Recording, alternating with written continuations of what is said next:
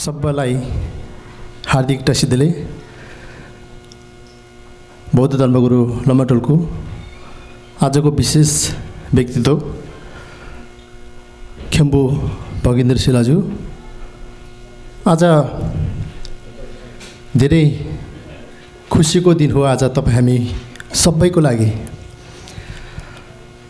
बुद्ध भगवान्ले दिनुभएको विशेष सन्देशहरू मन्त्रहरू र तपाईँ हाम्रो जीवनको लागि अत्यन्तै महत्त्वपूर्ण बौद्ध धर्म ग्रन्थ। दोमाङ धरणी सङ्ग्रह आज हामी माझ नेपाली भाषामा पाउँदा साह्रै खुसी र साह्रै आनन्दित महसुस भएको छ। र यो कार्यको लागि म धर्मगुरु खेम्बु भगेन्द्र शिला र उहाँको टिमलाई हार्दिक हार्दिक चाहिँ व्यक्त गर्न चाहन्छु।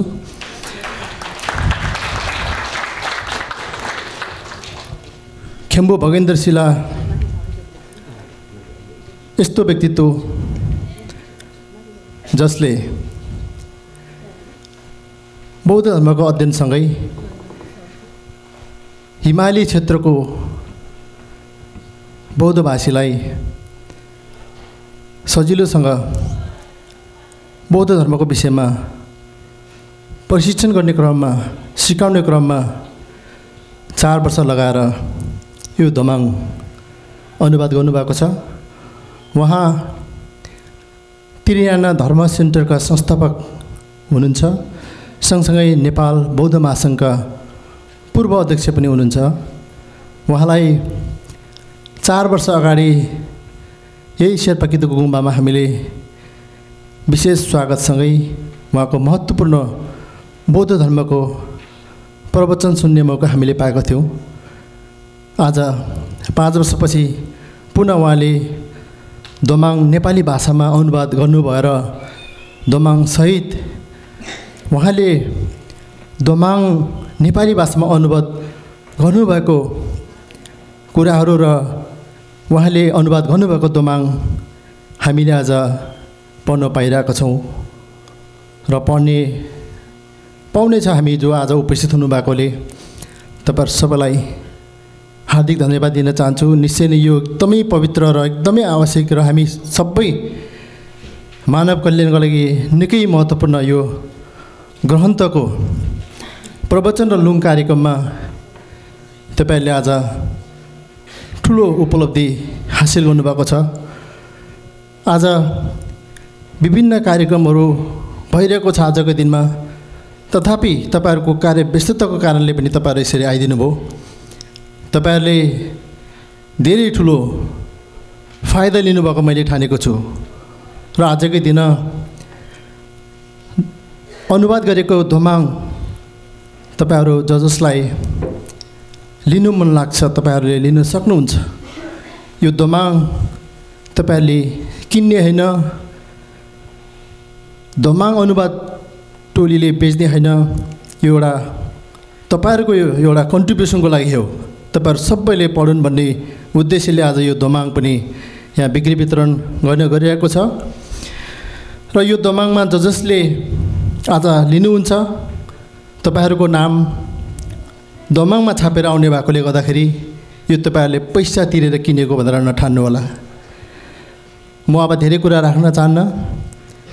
आजको विशेष व्यक्तित्व हाम्रो आदरणीय बौद्ध धर्मगुरु खेम्बु भगेन्द्र शिलाजुलाई आजको यो प्रवचनको लागि म हार्दिक अनुरोध गर्दछु। थ्याङ्क यू थुची चाहिँ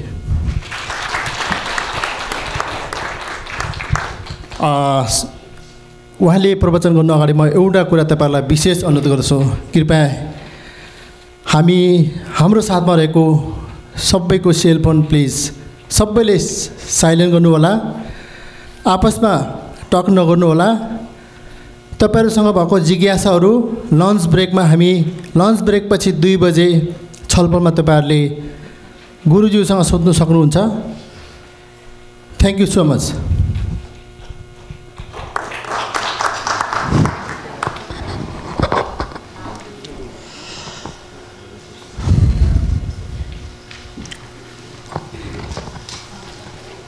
सबभन्दा पहिला हामी बुद्ध धर्मसँगको शरणमा जाने प्रार्थना गर्नेछौँ त्यसपछि गएर अनि सम्पूर्ण प्राणीको हितार्थ कल्याणार्थ मैत्री भावनाको ध्यानको प्रार्थना गर्नेछौँ अनि त्यसपछि गएर अनि भगवान् बुद्धदेखि लिएर अहिलेका कल्याण मित्र गुरुहरूसम्मलाई याद गरेर गुरुको स्तुति गर्नेछौँ। अनि हामीले जीवनमा जति पनि राम्रो काम राम्रो काम गरेका छौँ राम्रो कर्म गरेका छौँ अनि त्यो राम्रो कर्मबाट चाहिँ एउटा विशुद्ध किसिमको विश्व ब्रह्माण्डलाई सृजना गरेर अनि भगवान् बुद्धलाई रत्नमण्डलको रूपमा चढाउनेछौँ। र अनि भगवान् बुद्धको चाहिँ धर्म प्रवचन गरिदिनुहोस् भनेर अनि अनुरोध गर्नेछौँ। यी शब्दहरू अहिले हामी वाचन गर्छौँ। म यो सम्पूर्ण भाषाबाट।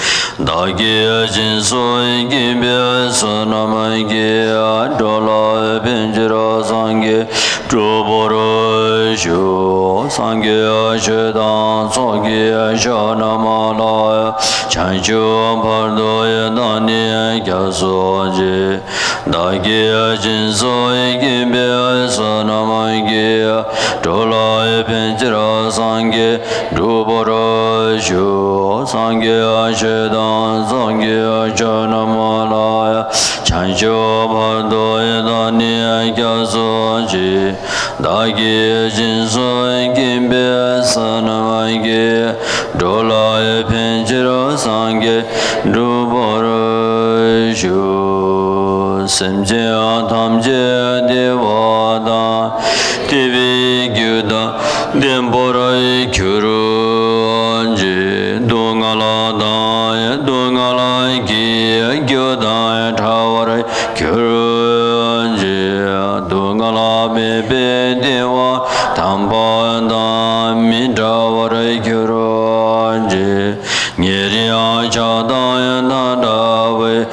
nyamo chenpo la nyambo kyo yante panden tsabe lama rinpo che dagi chivara pime ade shuola kade chenpo kone je sonde koso doge ngendo tsando zo saji apeje ajo je ame doedam ri rava lin shaya ngi de gyampa di sangye shinda min de ambrova yi drukunay namda shindo yobara sho idam guru rata mandala kam niryadaya mi. Simjya namgye sambadan loya cheda cheda vara. Che jyon tumo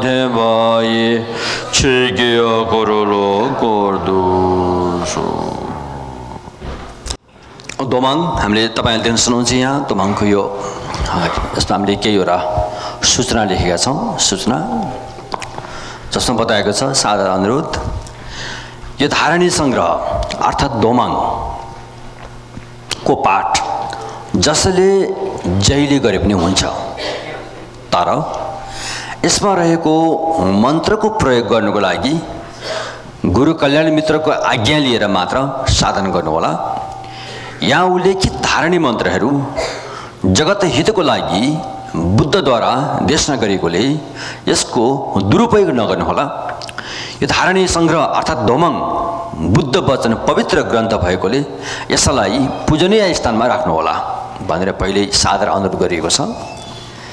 र धोमाङमा प्रवेश गर्नुभन्दा पहिला म के भन्न चाहन्छु भनेदेखि यो धोमाङ ग्रन्थ भनेको हामी सारा हिमालयन बुद्धिस्टहरूको एउटा पहिचान भनौँ कि हाम्रो एउटा चाहिँ पर पूर्वकालदेखि चाहे जानेर होस् चाहे नजानेर होस् घरमा लामा गुरुहरू आमन्त्रित गरेर चाहे त्यो बच्चा जन्मना होस् चाहे त्यो न्वारण गर्दाखेरि होस् चाहे त्यो घर बनाउँदाखेरि होस् चाहे घर सर्दाखेरि होस् चाहे त्यो विवाह गर्दाखेरि होस् चाहे अन्ततगत मृत्युको अवस्थासम्म पनि हामीले दोमाङ पाठ गर्ने गरेका छौँ। त्यसैले यो पाठ त गर्दै आइरहेका छौँ सबैलाई थाहा भएकै कुरो हो। तर हामीले कहिले पनि थाहा पाएनौँ कि यो धमाङभित्र के के छ? के पाठ गरिन्छ? जुन हाम्रो चाहिँ परापूर्व कालदेखि हाम्रो पुर्ख्यौलीदेखि नै यसलाई हामीले चाहिँ पाठ गर्दै आएका छौँ। यसमा छ के? यो बुझ्न अत्यन्तै जरुरी छ। अहिले हामी एक्काइसौँ शताब्दीमा आएको बौद्ध धर्म मान्नेवार हौँ हामीहरू। त्यसकारण नबुझिकन हरेको भरमा अन्धविश्वासको घर भरमा गऱ्यो भनेदेखि त्यो ठिक हुँदैन। त्यसरी यसलाई बुझ्न नितान्त जरुरी छ। कि यो धमाङभित्र के छ? हामी आफूले पनि बुझ्नु जरुरी छ र हाम्रा भावी सन्ततिहरू उहाँहरूले पनि बुझ्नु जरुरी छ। यदि हामीले भगवान् बुद्धको धर्मलाई आफ्नो सन्तति भविष्यसम्म यसलाई चाहिँ जीवित राख्ने हो भने यसलाई बुझ्न अत्यन्तै जरुरी छ त्यसरी यो धवाङ ग्रन्थ हामीले उल्था गर्ने जमर्क गऱ्यौँ गऱ्यौँ आजभन्दा चार वर्ष पहिला मेरो युकेको भ्रमण थियो यो धमाङ उल्था गर्ने काम कसरी सुरु भयो भन्दाखेरि चाहिँ हुन त धेरै पहिलादेखि नै धेरै व्यक्तिहरूको चाहिँ आशा रहेछ धमाङ अहिले बुझ्ने यो पर्वतीय नेपाली भाषामा भइदियो भए सबैले बुझ्ने थिए भन्ने आशा त सबैको नै भएको पाइन्छ। तर पनि यसलाई चाहिँ ठोस रूप दिनुको लागि चाहिँ आजभन्दा केही वर्ष पहिला मेरो युके भ्रमण हुँदाखेरि त्यहाँ हाम्रो गुरुङ समुदायका धेरै बौद्ध धर्मावलम्बी मान्ने हाम्रा लाउरी परिवारहरू थुप्रै हुनुहुन्छ त्यहाँ। अहिले नेपाल छाडेर उहाँहरू युकेमा बसोबास गर्नुभएको छ। र उहाँहरू बुद्धको अनुयायी हुनुहुन्छ। बुद्धको शरणमा जानुभएको छ धर्मको शरणमा जानुभएको छ र अनि सङ्घको शरणमा जानुभएको छ।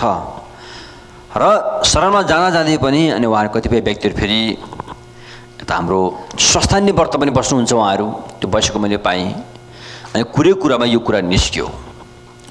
उहाँले भन्नुभयो यदि भगवान् बुद्धको पवित्र वचनहरू हामीले बुझ्ने नेपाली भाषामा भइदियो हो भने हामी भगवान् बुद्धकै व्रत बस्नेछौँ।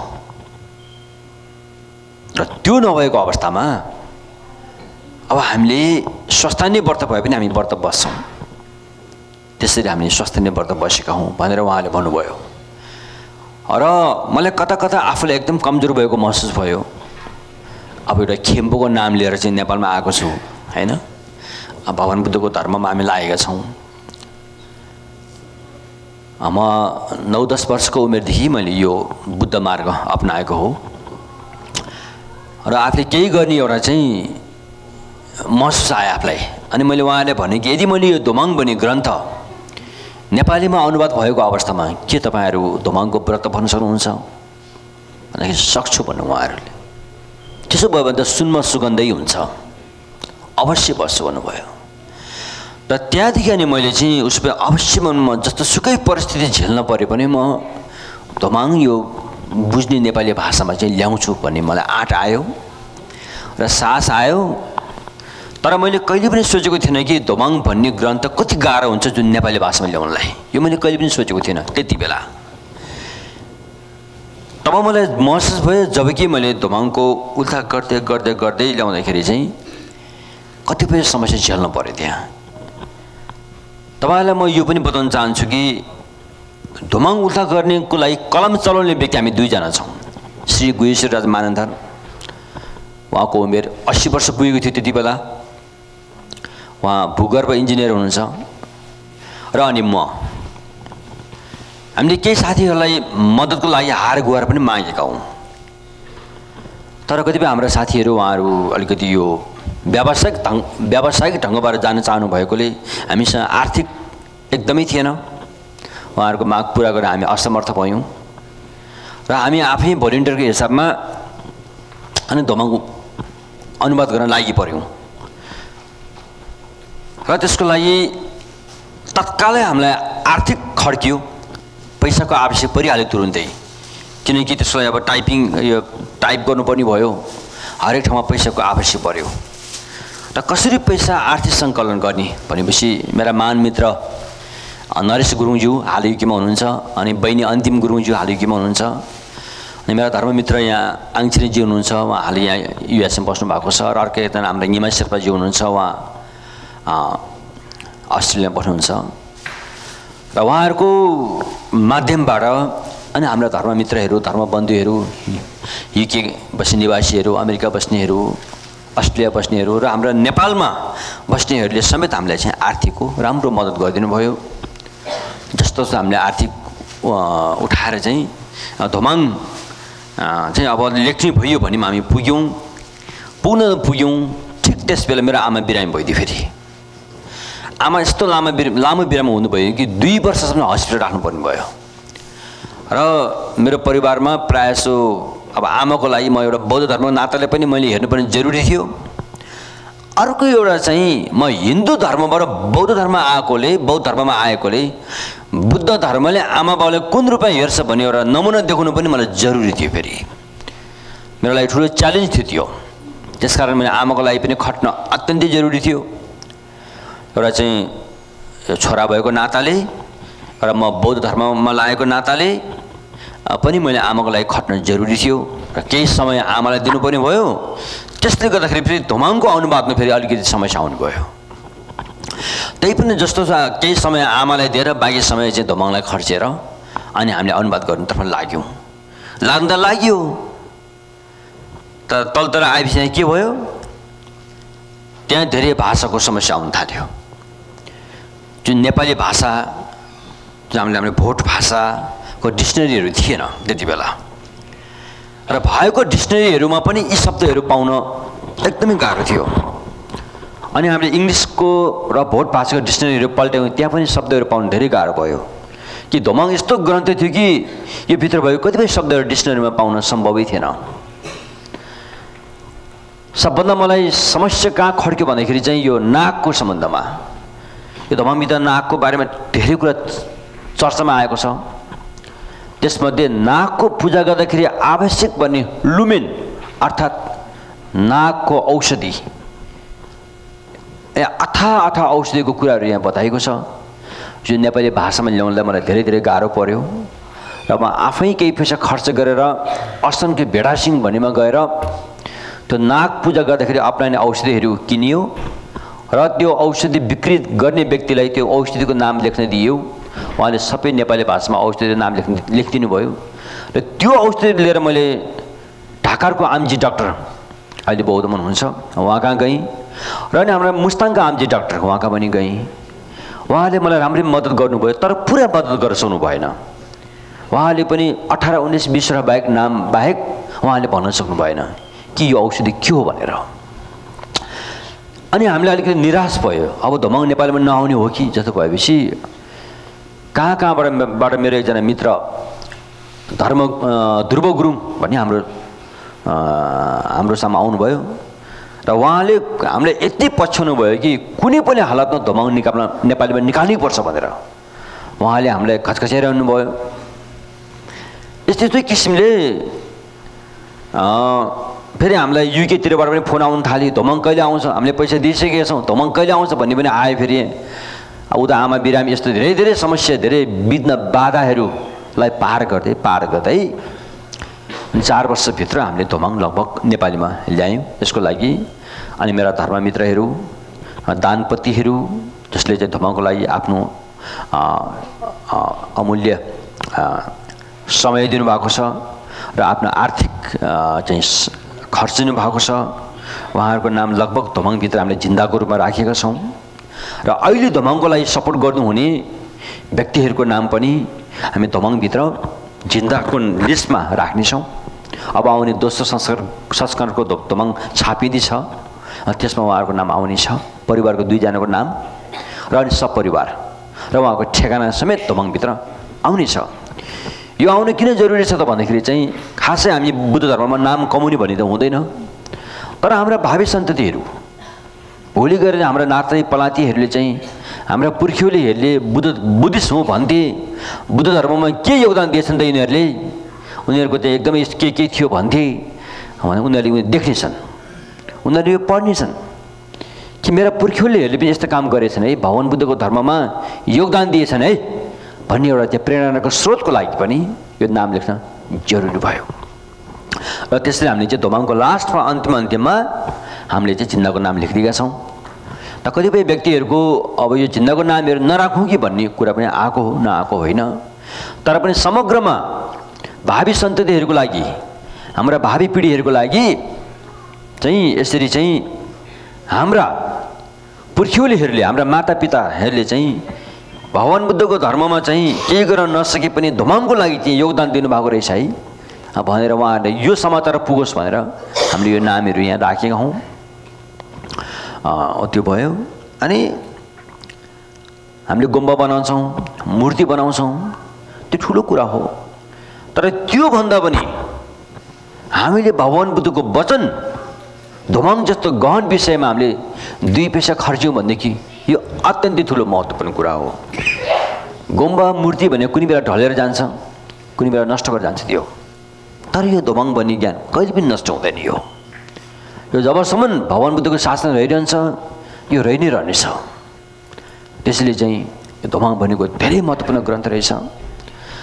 र धुमाङ त अब उल्था गर्ने कुरा भयो तर धुमाङ काङ्गिरुबाट चाहिँ निकालेर यसलाई अलग रूप कसले दियो त? यो धुमाङको चाहिँ चाहिँ धुमाङलाई चाहिँ यो रूप दिने व्यक्ति को थियो भन्दाखेरि फेरि अर्को समस्या आयो। हामीले धुमाङ धेरैपल्ट पढिसक्यौँ धेरैपल्ट पढिसकेका थियौँ। तर धुमाङ कसले बनायो भन्ने कुरा हामीलाई जानकारी थिएन। पछि हामीले धेरै झिम्बुसीहरू घेसीहरू खम्बुहरूसँग चाहिँ सरसल्लाह भयो। प्रायः जसरी धुमाङ कसले बनायो भन्ने कुरा चाहिँ निष्कर्षमा पुनः धेरै गाह्रो पऱ्यो त पछि पछि गएर सबै धुमाङ उहाँले बनाउनु भयो भएन म भन्न सक्दिनँ। तर अहिले हामीले जुन यो धुमाङ खडा गरेका छौँ यो चाहिँ जोराङ तारानाथ भन्ने उहाँले चाहिँ यसको चाहिँ कलेक्सन गर्नुभएको तारानाथ भन्ने व्यक्ति चाहिँ भोटका महाविद्वान हुनुहुन्छ। उहाँले चाहिँ बौद्ध धर्मको इतिहास एकदमै विस्तारित रूपमा लेख्नु भएको छ। उहाँले नि अनि यो धोपाङ चाहिँ यसरी निकाल्नु भएको हो। सारा काङ्गिरभित्र भएको चाहिँ महत्त्वपूर्ण सूत्र तन्त्र अनि विविध कुराहरूलाई चाहिँ सङ्कलन गरेर त्यसका महत्त्वपूर्ण कुराहरूलाई सङ्कलन गरेर अनि काङ्गिर यो धोमाङ चाहिँ काङ्गिरभित्रैमै गनिन्छ। काङ्गिरभित्रको एक भोलम हो एक ठेली हो यो। हो यसरी चाहिँ धोमाङ तयार पारिएको हो। र जुन कुरा अहिले हामीले रिम्बुसी गुरुहरूको जाने गर्नेछौँ रिम्बुची गुरुहरू गएर हामीले चाहिँ जोखाना हेर्छौँ। जोखानाबाट आउने प्रायः जसो त्यहाँ पाठ पूजा गर्ने भन्ने चाहिँ यो धमङकै कुराहरू हो। यही भित्र आउँछ। यसले पढाउ भन्ने कुरा आउँछ। त त्यसो भएकोले यो धोबाङ जहाँ जहाँ रहन्छ त्यहाँ त्यहाँ मङ्गल हुन्छ। त्यहाँ त्यहाँ लोका धाका स्याका भनी जुन यो चाहिँ हाम्रो चिबाट चाहिँ यो लोसारपछि आउने खड्गोहरू हुन्छन् धुनसुरु थुनसुम सिसे भनिहरू। यो सारा ग्रह दशाबाट मुक्त हुनुको लागि पनि धोमाङ अत्यन्तै महत्त्वपूर्ण ग्रन्थ हो।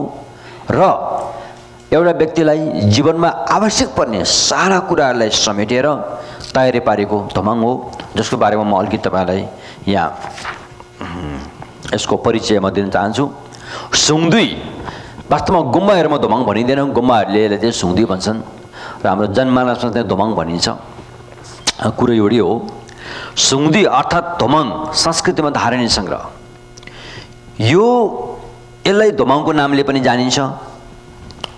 धोमाङ हो के हो? जुन हामीले पर पूर्वकालदेखि पाठ गर्दै आएका छौँ घरमा। यो हो के हो? भन्दाखेरि प्राणी मात्रको हित र सुख प्रदान गर्नुको लागि छब्बिस वर्ष पहिला जन्मनुभएका बुद्ध शाक्य मुनिले विभिन्न स्थानहरूमा तन्त्र सूत्रको रूपमा प्रवचन गर्नुभएको बुद्ध वचनको सङ्गालो नै धोमाङ हो। यो बुद्ध वचनको सङ्गालोलाई धोमाङको रूपमा कसले दियो त कसले निकाल्यो त भन्दाखेरि सोह्रौँ शताब्दीमा तिब्बतमा जन्मनुभएका पण्डित तारानाथ डोल्मा गोम्पोले विभिन्न तन्त्र सूत्र ग्रन्थहरूबाट सङ्कलन गरी अनि यो सङ्ग्रह गर्नुभएको ग्रन्थ नै दोमाङ हो। पण्डित तारानाथज्यूले जीवनको निर्वाहको लागि आवश्यक पर्ने सबै पक्षहरूलाई समेटिने गरी सङ्कलन गर्नुभएको छ। यो धोमाङभित्र तिन खण्डमा बाँडिएको छ तन्त्र सूत्र र अनि विविध गरी तिन खण्डमा विभाजित गरिएको यो धारणी सङ्ग्रहको सुरुवात नाम सङ्गीति झाम्बल छन्जे नाम सङ्गीतिबाट सुरु हुन्छ र अन्तमा गएर मङ्गलसूत्र। टासी चेपाहरू मङ्गलसूत्र गरेर जम्मा एक सय सत्र अध्याय छ यसमा। Chapter hundred and seventeen chapter एक सय सत्र अध्याय परिषदमा राखेका छन्। त्यसै गरी यो धोमाङभित्र अन्य पहिला यो चिनी भाषामा पनि रहेछ अनि अहिले स्याङसुङको भाषामा पनि रहेछ अनि मङ्गोलियन भाषामा पनि रहेछ ती भाषाहरूबाट पनि पुनः यो सम्बोध भाषामा अनि उल्था गरिएको छ। र ती मन्त्रहरू यस धमाङभित्र समावेश गरिएको छन्। छोटकरीमा भन्नुपर्दाखेरि हामी मानव जीवनमा आइपर्ने सबै किसिमका दुःख बाधा व्यवधान ग्रहदशा रोग व्याधि अनिकाल वायु अग्नि जल भूकम्पको भय आदिको समाधान गर्ने मन्त्र तथा विधिहरूको सङ्गालो नै धुमाङ हो। भवचक्रको दुःखबाट कसैले छुट छैन। अर्थात् अति धेरै पुण्य सञ्चय गरेका देवताहरूलाई पनि भवचक्रको दुःखबाट छुट छैन। यस ग्रन्थमा देव मनुष्यदेखि लिएर नाग यक्ष गन्धर्व आदि संसारमा जन्मिएका जति पनि प्राणीहरू छन् ती सबैको हित र सुख हुने उपायहरू यसमा भवन बुद्धले बताउनु भएको छ। दुर्गतिमा पुगेका नरक पशुलोक प्रेतलोकका प्राणीहरूको लागि पनि त्यस्तो दुर्गतिबाट मुक्त हुने उपायको उपदेश यस धोमाङभित्र दिनुभएको छ। विभिन्न रोगको रोग निको पार्नुको लागि विभिन्न जडीबुटीहरूको बारेमा पनि यस धोमाङमा बताएको छ। भूत प्रेत चण्ड आदिको बिगार वा दुष्ट मन्त्रलाई हटाउने उपायहरू पनि यस धोमाङभित्र बताइएको छ। पाप प्रायश्चित गरी पापलाई हामीले जीवनमा कतिपय पाप गरेका हुन्छौँ ती पाप काट्नको लागि पनि ती पाप कसरी काटिन्छ भन्ने बारेमा पनि यस धोमाङभित्र बताएको छ। ग्रह नक्षत्रको दोष हटाउने कुराहरू पनि यसमा समावेश गरिएको छ।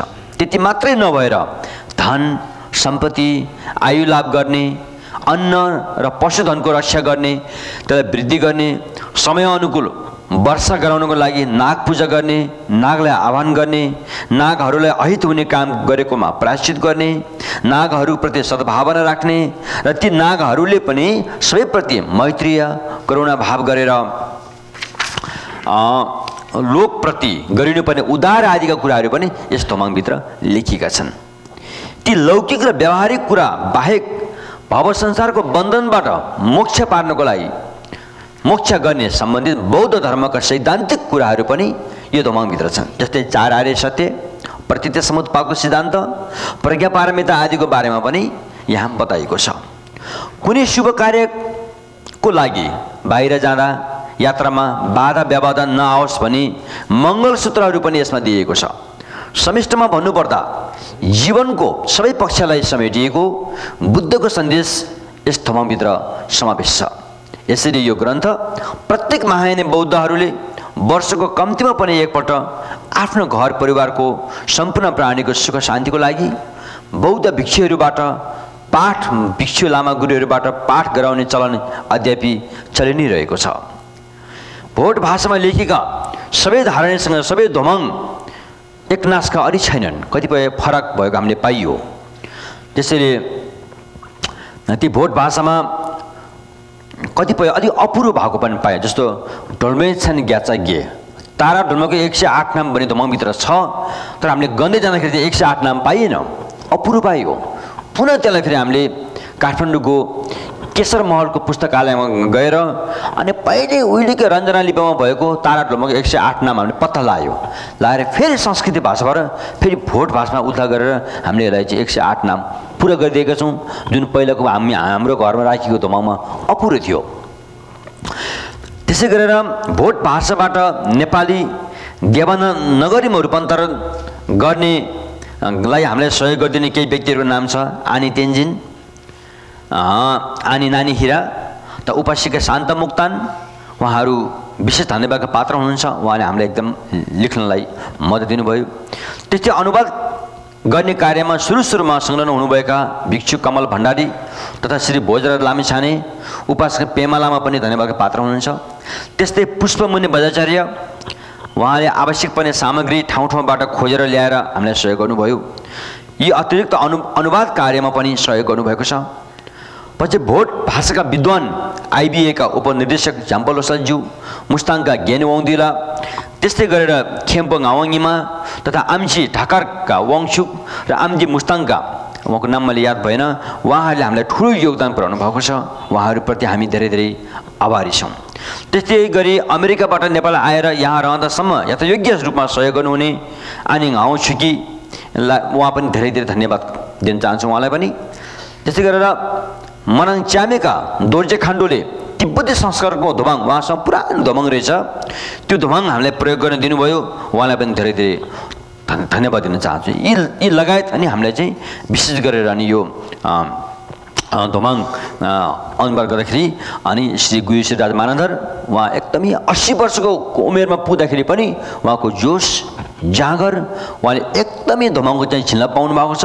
उहाँले हृष्टपुष्ट हुनुहुन्छ एकदमै सन्तुष्ट हुनुहुन्छ स्वस्थ हुनुहुन्छ। त्यसकारण हामीले यो धोमाङको बारेमा अब हामीले अध्ययन गर्नुपर्छ। अब नेपाली भाषामा आइसकेको छ। अब तपाईँहरूले ए हामीले भाषा बुझ्दैन भने तपाईँले पन्छिनु मिल्दैन अब तपाईँले आफ्नो घरमा धोमाङ लगेर पढ्नुपर्छ यसलाई। अध्ययन गर्नुपर्छ। के रहेछ यो?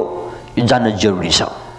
यदि हामीले यो गरेनौँ धमाङ नेपाली भाषामा आएर पनि हामीले पढेनौँ बुझ्ने कोसिस गरेनौँ भने हाम्रा भावी पुस्तापछि सबै क्रिस्चियन भएर जानेछन् इस्लाम भएर जानेछन् उनीहरू हिन्दू भएर जानेछन् या उनीहरू नास्तिक भएर जानेछन्। उहाँहरू भगवान् बुद्धको ज्ञानबाट टाढिनेछन्। त्यसैले बेलामै बुद्धि पुर्याएर समयलाई सदुपयोग गरेर अब हामीसँग भएका दुर्लभ बौद्ध ग्रन्थहरू यो बुझ्ने भाषामा आउनु जरुरी छ?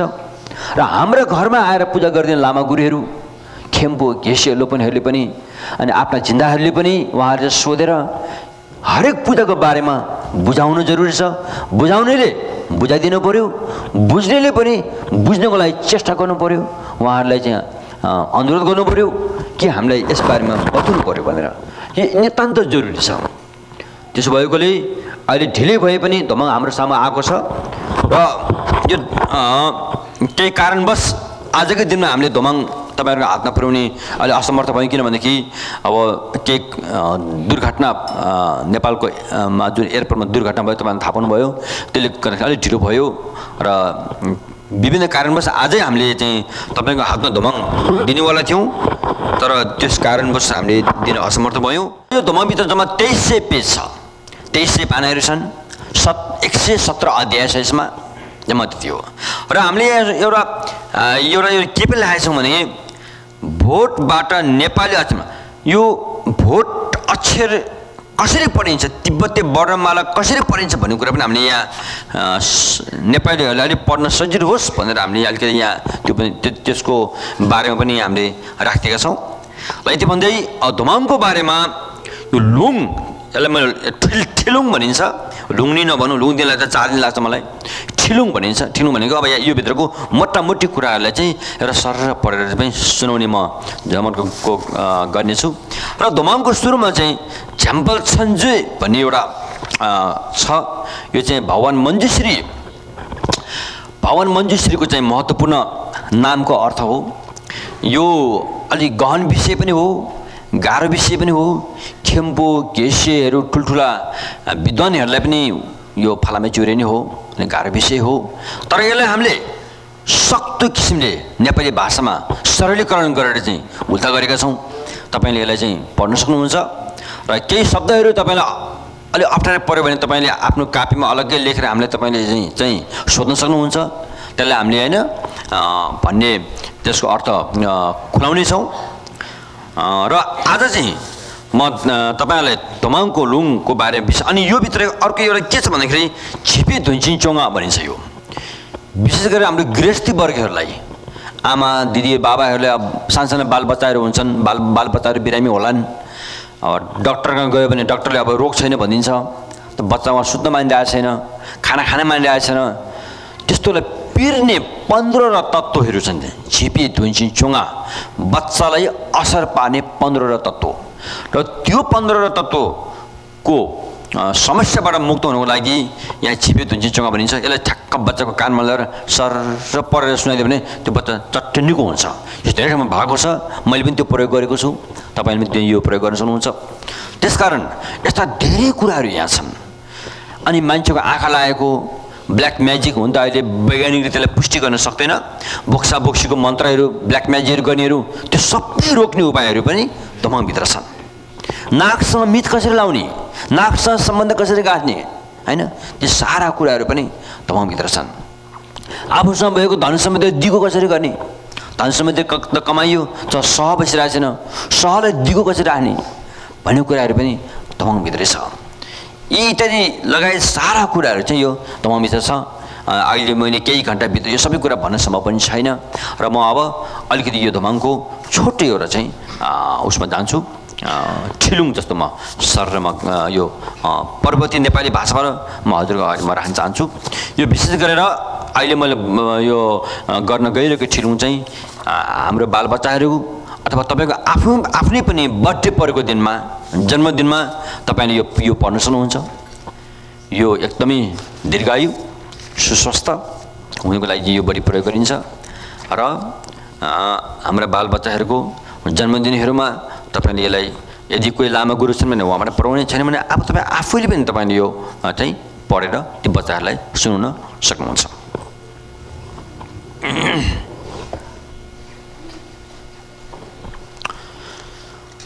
रुन जिंग टु मुदन निगन डगन न थमजे के दो दगे जे देन तो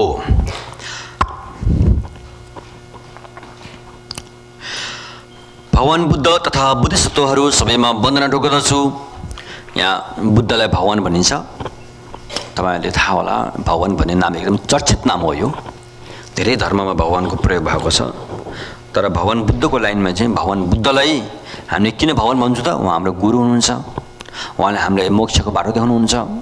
उहाँ सौभाग्यवान हुनुहुन्छ। त्यसरी हामीले भगवान् बुद्धलाई भगवान् भनिन्छ। भगवान् बुद्ध तथा बुद्धिसत्व बुद्धिसत्वहरू भनेको भविष्यमा बुद्ध हुने व्यक्तिलाई बुद्धिसत्व बुद्धिसत्वहरू सबैमा वन्दना ढोक्दछु एकपल्ट मैले यस्तो सुने एक समय भगवान् बुद्ध श्रावस्तीको जतावनमा विराजमान हुनुभएको थियो। अनाथपिण्डको आराममा बाह्र सय पचास भिक्षुहरूको महासङ्घ तथा बुद्धिसत्व महासत्वहरूको ठुलो समूह एकसाथ भेला भएको थियो। त्यस सभामा भगवान् भगवान्ले मञ्जुश्री कुमार बुद्धलाई मञ्जुश्री भने भगवान् बुद्धको एउटा चेलाको नाम हो। उहाँ ज्ञानको बुद्धिसत्व हुनुहुन्छ। अनि एउटा चाहिँ एक समय भने कुनै एक समय जहाँ जुन बेला भगवान् बुद्ध अनि जीवित हुनुभएको थियो त्यो ठाउँ कहाँ थियो? श्रावस्ती भन्ने ठाउँ। त्यो अहिले उत्तर भारतमा पर्छ। जहाँ भगवान् बुद्ध बुद्ध भएर पच्चिस वर्ष बिताउनु भएको ठाउँ हो त्यो श्रावस्ती। त्यहाँ एउटा गुम्बा बनाएको थियो। जुन गुम्बा बनाएको जेतवन भनिन्थ्यो जेत भन्ने राजकुमार को वन र अनाथ पिण्डिकको चाहिँ जमिन भएकोले त्यहाँ बनाएको गुम्बा भएकोले जेतवन अनि अनाथ पिण्डको आराम भन्ने गुम्बाको नाम हो। त्यति बेला गुम्बाहरूलाई आराम भनिन्थ्यो जहाँ आराम रिल्याक्स गरेर बस्ने। हाम्रो घरको पीडा मनको पीडा एकदमै मन विक्षिप्त भयो। होइन काजो काजो भएपछि अनि मान्छेहरू मन शान्त पार्नलाई गुम्बामा जान्थे अनि त्यहाँ आराम हुन्थ्यो। त्यस्तो थियो। गुम्बा चाहिँ शान्त हुने ठाउँ हो। अहिले जस्तो हाम्रो हो होला पानी ठाउँ होइन रहेछ नि है अहिले त हामी के छ? घरभरिको कुरा ल्याएर कहाँ पाउँछौँ गुम्बामा ल्याएर पक्क पाउँदिन्छौँ है? वास्तवमा गुम्बा त्यस्तो होइन गुम्बा भनेको अशान्त भएको ठाउँबाट मुक्त भएर आएर शान्त भएर बस्ने ठाउँ गुम्बा भनेको। अनि पहिला पहिला गुम्बा नाम चाहिँ आराम भन्दो रहेछ कि? आराम मनलाई आराम रिल्याक्स गर्ने ठाउँ। बाह्र सय पचास पिक्चीहरू महासङ्घ गेन्दुङ्गी गेन्दुङ छिम्पो गेलुङ्गी गेन्दुङ छिम्पो बाह्र सय पचास भएपछि महासङ्घ भयो। महासङ्घ बोधिसत्व महासत्वहरूको ठुलो समूह एकसाथ भेला भएको थियो। कहाँ? श्रावस्तीमा। श्रावस्ती भन्ने ठाउँमा त्यहाँ जेतवन बिहार थियो। हो त्यहाँ चाहिँ बाह्र सय भिक्षीहरूसँगै अनि भगवान् बुद्ध पनि त्यहाँ विराजमान हुनुभएको रहेछ। त्यस समय त्यस सभामा भगवान्ले मञ्जुश्री कुमार बुद्ध आज्ञा गर्नुभयो। मञ्जुश्री भनेको भगवान् बुद्धको शिष्य उहाँ ज्ञानका बुद्ध होइन? उहाँको मन्त्र चाहिँ अरापत नदी भने हाम्रो बाल बच्चालाई भन्छौँ नि होइन? हामी हामी चाहिँ हामी हामी हामी हामी बुद्धिस्ट भएपछि बच्चा जन्मना साथै निवारण गर्ने बेलामा हामीलाई के गर्छौँ त? अनि कुसुम पानी ठिसाङ। कुसुम पानीमा अनि हामीले अलिकति चाहिँ त्यो चोबेर बच्चाको जिब्रोमा धी पनि लेख्ने चलन छ त्यो लेखेपछि बच्चाको दिमाग चाहिँ तेजिलो हुन्छ। त्यस्तो एउटा चाहिँ हाम्रो बुद्धिस्टमा चलन छ। उहाँ मन्जुश्री पनि त्यहाँ आउनु भएको रहेछ। त्यो सभामा उहाँ पनि त्यहाँ हुनुहुँदो रहेछ। अनि भगवान् बुद्धले चाहिँ मन्जुश्रीलाई तोकेर भन्नुभएछ। मन्जुश्रीलाई आज्ञा आज्ञा गर्नुभयो हे मन्जुश्री यहाँबाट माथि उदर्व दिशामा अपरिमित गुणसञ्चय लोकधातु नाम गरेको एउटा भुवन छ। यहाँबाट माथितिर चाहिँ अपरिमित गुणसञ्चय भन्ने नाम गरेको एउटा लोकधातु छ। त्यस भुवनमा अपरिमित आइकन सुविनिश्चित त्यो राज नाम गरेका तथा सम्यक बुद्ध विराजमा हुनु हुनुहुन्छ। यो चाहिँ अमिताइस बुद्धको नाम हो। त्यो भुवनमा चाहिँ होइन तथागत अहिले त हामीले बुद्ध बुद्ध भन्छौँ। भगवान् बुद्धको पालामा बुद्धले बुद्ध भन्ने नाम भन्दा पनि तथागतको नामले चाहिँ बढी जानिँदो रहेछ। धेसिन सेक्पा पनि। धेसिन सेक्पा धेसिन भनेको चाहिँ तथा जस्ताको तस्तै जस्ताको तस्तै थाहा पाएर सेक्पा पाल्नु भएकोले तथागत धेसिन दुई सेक्पा जस्ताको तस्तै। भनेर थाहा पाउनुभयो? जस्ताको तस्तै भनेको चाहिँ जस्तो अब तपाईँहरूले यो देख्नुभयो हामीले जस्तोको तस्तै हेर्न जान्दैनौँ। या त हामीले मन पराएर हेर्छौँ त्यहाँबाट के आउँछ लोभ जाग्यो। या त मन नपराएर हेऱ्यो त्यहाँबाट रिस जाग्यो। या त के हो के हो भनेर हेऱ्यो मोह जाग्यो। त्यो जस्तो त हेरेन। तर भगवान् बुद्धहरूले चाहिँ हरेक चिज बिचहरू चाहिँ जस्ताको तस्तै हेर्नुहुन्छ एज इट इज त्यहाँबाट राग रिस मोह के पनि जाग्दैन। हामीलाई जो लोभ जाग्छ राग छ किनकि हामीले बुट्टा भरेर हेर्छौँ नक्कलीले सक्कली भनेर हेर्छौँ। अनि हामीमा के भयो? विकार जाग्यो रागरिस जाग्यो। त्यसैले तथागत भगवान् बुद्ध चाहिँ जस्तो तस्तो हेर्नुभएकोले उहाँलाई के भनिन्छ? तथागत अरहत सम्यक सम्बुद्ध विराजमान हुनुहुन्छ। आयुको अधिपति भएका उहाँले आयु धारण गरेर आयुबाट परिमुक्ति दिन भने अनि व्यक्तिहरूलाई धर्म ज्ञान सुनाउनुहुन्छ। उहाँ चाहिँ एउटा ठाउँ छ अरे माथितिर। जहाँ चाहिँ अमिताइस भगवान् बुद्ध बस्नु भएको छ अरे साङ्गीत सेपामे। अनि उहाँले चाहिँ जो व्यक्तिको आयु कमजोर भएको छ जो व्यक्ति चाहिँ अकाल मृत्यु हुन आँटेको छ तिनीहरूलाई चाहिँ मद्दत दिनुहुन्छ अरे। यसो यसो गऱ्यो भने तिमीहरूको आयु लामो हुन्छ तिमीहरू स्वस्थ हुन्छौ होइन? आयु लामो स्वस्थ भयो भने तिमीहरू धेरै धेरै धर्म गर्न सक्छौ। भनेर चाहिँ ती व्यक्तिहरूलाई धर्म उपदेश गर्नु गर्नुहुन्छ अरे। हे मञ्जुश्री कुमार बुद्ध सुन। जम्बु द्वीपका मनुष्यको सय वर्षको अल्पायु मात्र छ है? हाम्रो यहाँ आएको छ। सय वर्ष मात्रै हो। सय वर्षभन्दा बा बाँकी बाँच्यो भने के भयो त? अनि अनि घाँडो हुन्छ त्यहाँबाट। है बाँचेर पनि है अरूले त्यति मन पराउँदैन है। त्यस्तो छ नि त। त्यसकारण धेरै धेरै बाँच्यो भने सय वर्षको अल्पायु मात्र छ। त्यसमध्ये पनि धेरै जसो अकालबाटै मृत्यु हुन्छ। है सय वर्ष पनि बाँच्न पाउँदैन थिए हामी मान्छे भने चाहिँ कस्तो रहेछ भन्दाखेरि चाहिँ कुखुराको चल्ला जस्तो अरे त्यो कुखुराको चल्लाहरू चाहिँ छ नि उनीहरू पनि खुसी हुन्छन् कुखुरी कहाँ भन्छन्? कति कहाँ रिसाएर ठुङ्छन् अर्कोलाई जुत्छन् किन त्यसो भएको थाहा छ? हामी त लामो समय बाँच्छौँ नि भनेर भएको अरे। हामी त कहिले पनि मर्दैनौँ नि भनेर भएको अरे त्यस्तो। तर हाम्रो मान्छेको हेराइमा कठैबाट यसलाई त भरे काट्छ भोलि काट्छ थाहा छैन। हो हामीलाई पनि देउताहरूले हेर्दाखेरि त्यस्तै भन्न जान्छ यो मान्छेहरू जाओस् सय वर्ष आयो किन झगडा गरेको होला यिनीहरू? किन यस्तो गरेको होला। भने देउताहरू लामो आयो भएकोले उनीहरूले हामीलाई चाहिँ कुखुराको चला जस्तै ठान्छ अरे फेरि। है? यिनीहरू कति मूर्ख होला। यिनीहरू भोलि मऱ्यो थाहा छैन। भरे राति सुते भोलिमा नउठ्यो थाहा छैन। किन झगडा गरेको होला यिनीहरू? यसरी हेर्छन् रे। त्यही भएर त्यसमध्ये पनि धेरै जसो अकालबाटै मृत्यु हुन्छ। हे मञ्जुश्री जुन व्यक्तिले अपरिमित भगवान् बुद्धको गुणको वर्णन अष्टोत्तर शतनाम सूत्र एक सय नाम एक सय आठवटा नाम भएको मन्त्र धर्मपर्य जस्तै पुस्तक लेख्छन् लेख्न अथवा छाप्न लगाउँछन्। एक सय आठवटा नाम भएको सूत्रलाई ध्यान दिएर सुन्दछन् अथवा त्यसलाई पाठ गर्छन्। पुस्तक लेखाइ आफ्ना घरमा सगौरव स्थापना गरी पुष्प धूप दीप माला लेपन चुना आदिले पूजा गर्छन्। ती व्यक्तिहरूको आयु सकिएको भए पनि सय वर्षको आयुले सम्पन्न हुनेछ है? आयु सकिएको भए पनि फेरि आयु थपेर चाहिँ सय वर्षकै हुनेछ भनेर यसरी भन्नुभयो। यमन्जुश्री जो व्यक्तिले अपरिमित अमिताइस भवन बुद्धको चाहिँ एक सय आठ नामको सूत्र श्रवण गर्छन् सुन्छन् सुन्छन् उनीहरूको आयु विकास भएर जानेछ। आफ्नो आयु क्रमैसित सिद्धिएर जाने बेलामा पनि यो एक सय आठ नम्बरको मन्त्र स्मरण आफूले मनमा सम्झ्यो भनेदेखि उनीहरूको आयु विकास हुनेछ। ए मञ्जुश्री त्यसकारण दीर्घायु लामो आयु हुने अभिलाषा राखी होइन त्यो व्यक्तिले एक सय आठ नाम भएको यो मन्त्र जसले सुन्छ जसले पुस्तकमा लेख्छ अथवा अरूलाई छाप्न लगाउँछ अथवा पाठ गराउँछ ती कुलपुत्र वा कुलपुत्रीहरू शुभ सौभाग्य हुनेछन्। अनि एक सय आठ नाम भएको त्यो त्यो मन्त्र के होला? त्यो यस प्रकार छ। ल सुरुमा हामी पनि एकपल्ट पढ्दै है।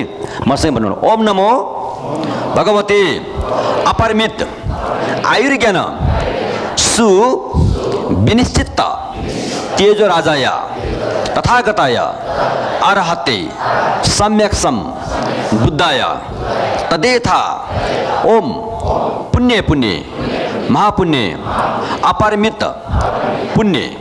अपरिमित पुण्य ज्ञान सम्भ रूपचित्ते ओम सर्व संस्कार परिशुद्ध धर्मते गगन समुद्गते स्वभाव विशुद्धि मानय परिवारे सोहा यो मन्त्रभित्र बुझाउनेले बुझाउन जान्यो बुझ्नेले बुझ्न जान्यो भने एक सय आठवटा बुद्धको नामहरू छ अरे यहाँ। त्यसैले यो धेरै महत्त्वपूर्ण शक्तिशाली मन्त्र हो यो। तपाईँले एउटा बत्ती बाल्दाखेरि पनि यो मन्त्र पढेर बत्ती बाल्यो भने लाख बत्ती बाले सर हुन्छ। कसैलाई एक रुपियाँ दान दिँदाखेरि पनि यो यो मन्त्र जपेर दान दियो भने लाख रुपियाँ दान दिए सर हुन्छ। त्यस कारण धेरै शक्तिशाली मन्त्र हो। हे मञ्जुश्री भगवान् बुद्धको यो एक सय आठ नाम भएको सूत्र पुस्तक जसले लेख्छ वा लेखाउँछ छपाउँछ जसले घरमा राखी पाठ गराउँछ त्यसको क्षय भएको आयु पुरा सय वर्षको हुनेछ। यस लोकबाट प्रलोक अब अन्तिममा त हामी मरिने हो होइन? यस लोकबाट प्रलोक हुन साथ ऊ अमिताइस भवन बुद्धको लोकधातु अपरिमित गुडा आदि भुवनमा जन्म हुनेछ। अब नम भगवते भनेदेखि लिएर महानय परिवार स्वभाव अहिलेको मन्त्र त्यही भयो? हे मञ्जुश्री जो व्यक्तिले अपरिमितको यो एक सय आठ नाम सूत्र श्रवण गर्छ ती प्राणीहरूको आयु प्रवृत्त हुनेछ। आयु क्रमैसित सिद्धेर जाने बेलामा पनि एक सय आठ नाम भएको यो मन्त्र धारण गर्ने व्यक्तिको आयुको विकास नै हुनेछ। हे मञ्जुश्री सुन। त्यसकारण दीर्घायु हुने अभिलाषा राखी यो एक सय आठ नाम भएको बुद्धको नाम श्रवण गर्ने पुस्तक लेख्ने लेख्न लगाउने छपाउने तथा पाठ गराउने कुलपुत्र वा कुलपुत्रीहरू सौभाग्यवान नै हुनेछन्। फेरि त्यसै समयमा बुद्ध भुवनमा उनान्सय कोटी कोटी भनेको एक करोडलाई संस्कृतिमा कोटी भन्छ। उनान्सय कोटी बुद्धहरूले एकै भावले एकै स्वरले यो अपरिमित आइकन सूत्रपिट आज्ञा भयो। अमनमा भगवती अपरिमित पनि अपरिमित संस्कार पनि धर्म स्वभाव विशुद्ध माने परिवार स्वभाव फेरि त्यसै समयमा चौरासी कोटी बुद्धहरूले पनि एकै भावले एकै स्वरले यो अपरिमित आइकन सूत्रपिट आज्ञा गर्नुभयो। अमनमा भगवती भनेदेखि लिएर मानव परिवार स्वभाव फेरि त्यसै समयमा सतहत्तर कोटी बुद्धहरूले पनि एकै भावले एकै स्वरले यो अपरिमित आइकन सूत्रपिट आज्ञा गर्नुभयो। अमनमा भगवती भनेदेखि मानव परिवार स्वभाव फेरि त्यसै समयमा पैँसठी कोटी बुद्धहरूले पनि एकै भावले एकै स्वरले यो अपरिमित आइकन सूत्रपिट आज्ञा गर्नुभयो। अमनमा भगवती भनेदेखि लिएर मानव परिवार स्वभाव फेरि त्यसै समयमा पचपन्न कोटी बुद्धहरूले पनि एकै भावले एकै स्वरले यो अपरिमित आइकन सूत्रपिट आज्ञा गर्नुभयो। अमनमा भगवती भनेदेखि लिएर मानव परिवार स्वभाव फेरि त्यसै समयमा पैँतालिस कोटी बुद्धहरूले पनि एकै भावले एकै स्वरले यो अपरिमित आइकन सूत्रपिट आज्ञा गर्नुभयो। अमनमा भगवती भनेदेखि लिएर मानव परिवार स्वभाव फेरि त्यसै समयमा छत्तिस कोटी बुद्धहरूले पनि एकै भावले एकै स्वरले यो अपरिमित आइकन सूत्रपिट आज्ञा गर्नुभयो। फेरि त्यसै समयमा पच्चिस कोटी बुद्धहरूले पनि एकै भावले एकै स्वरले अपरिमित आइकन सूत्रपिट आज्ञा गर्नुभयो। फेरि त्यसै समयमा दसौँ कोटी गङ्गा नदी गङ्गा भन्ने नदी छ त्यो भारतमा बग्छ। त्यो नदी चाहिँ एकदम लामो नदी छ। त्यसमा बालुवा धेरै छ। त्यही भएर दसौँ कोटी दसौँ करोड गङ्गा नदीको बालुवा सरह भगवान् बुद्धहरू पनि त्यति नै त्यही समानको गन्ती भएका भगवान् बुद्धहरूले पनि एकै भावले एकै स्वरले यो अपरिमित आइकन सूत्रपिट आज्ञा गर्नुभयो। जसले यो अपरिमित आइकन सूत्रपिट लेख्छन् लेखाउँछ वा छपाउँछ उनीहरूको सकिएको आयु पनि एक सय वर्षको प्राप्त हुनेछ आयु पनि अरू वृद्धि हुनेछ। जसले अपरिमित आइकन सूत्रपिट लेख्छन् लेखाउँछन् छपाउँछन् ती व्यक्तिको नरक ती व्यक्तिले नर्गलोक प्रेतलोक पशुको जुनीमा कहिल्यै पनि जन्म लिनुपर्ने छैन। आठ अक्षरले युक्त आठवटा ठाउँ छ अरे त्यहाँ जन्म लियो भने धर्मको फुर्सद पाउँदैन अरे। त्यो ठाउँमा कहिले पनि जन्मिनु पर्ने छैन। यो मन्त्र जप गर्ने ध्यान गर्ने यसलाई पाठ गर्ने लेख्ने छपाउने व्यक्तिहरू जहाँ जहाँ जन्म लिए तापनि पूर्व जन्मको याद हुन्छ। अहिले हामीलाई त याद हुँदैन हो। हामी कहाँबाट आयो थाहा छैन। आमाको कोबाट आएको थियो मात्रै थाहा छ अलिअलि। त्यो पनि याद छैन यत्रै जन्मेको जस्तो लाग्छ हामीलाई। है? हाम्रो हामी अब हाम्रो दिमाग धेरै कमजोर भयो नि त। तर यो यो यसलाई राम्रोसँग साधना गर्ने व्यक्तिहरू चाहिँ स्मरण शक्ति बढ्छ। यो जुनी मात्रै होइन पूर्व पूर्व पूर्व पहिला पहिलाको जन्मको समेत पनि उसलाई याद हुनेछ। जस्तै अपरिमित आएका लेख्छन् लेखाउँछन् छपाउँछन्। उनीले चौरासी हजार धर्म स्कन्द भगवान् बुद्धले बताएको ज्ञान चाहिँ चौरासी हजार छ अरे स्कन्द भनेको थुप्रो राशि। यति धेरै बुद्धले भन्नुभएको रहेछ नि। त्यो किन भनेको होला भन्दाखेरि हामीसँग चौरासी हजार किसिमको अज्ञान छ अरे चौरासी हजार किसिमको अज्ञानलाई एउटा एउटा अज्ञान हटाउनलाई चाहिँ एउटा एउटा ज्ञानको हिसाब गरेर चौरासी हजार भयो। चौरासी हजार अज्ञान के के होला भन्दाखेरि हामीसँग लोभ मात्रै आउने एक्काइस हजार छ अरे एक्काइस हजार किसिमको लोभ लोभ मात्रै आउँछ अरे हामीलाई। कस्तो लोभ होला त्यो? एक्काइस हजार लोभ भने कम हो। एक्काइस हजार किसिमको त रिस मजा आउँछ अरे हामीलाई।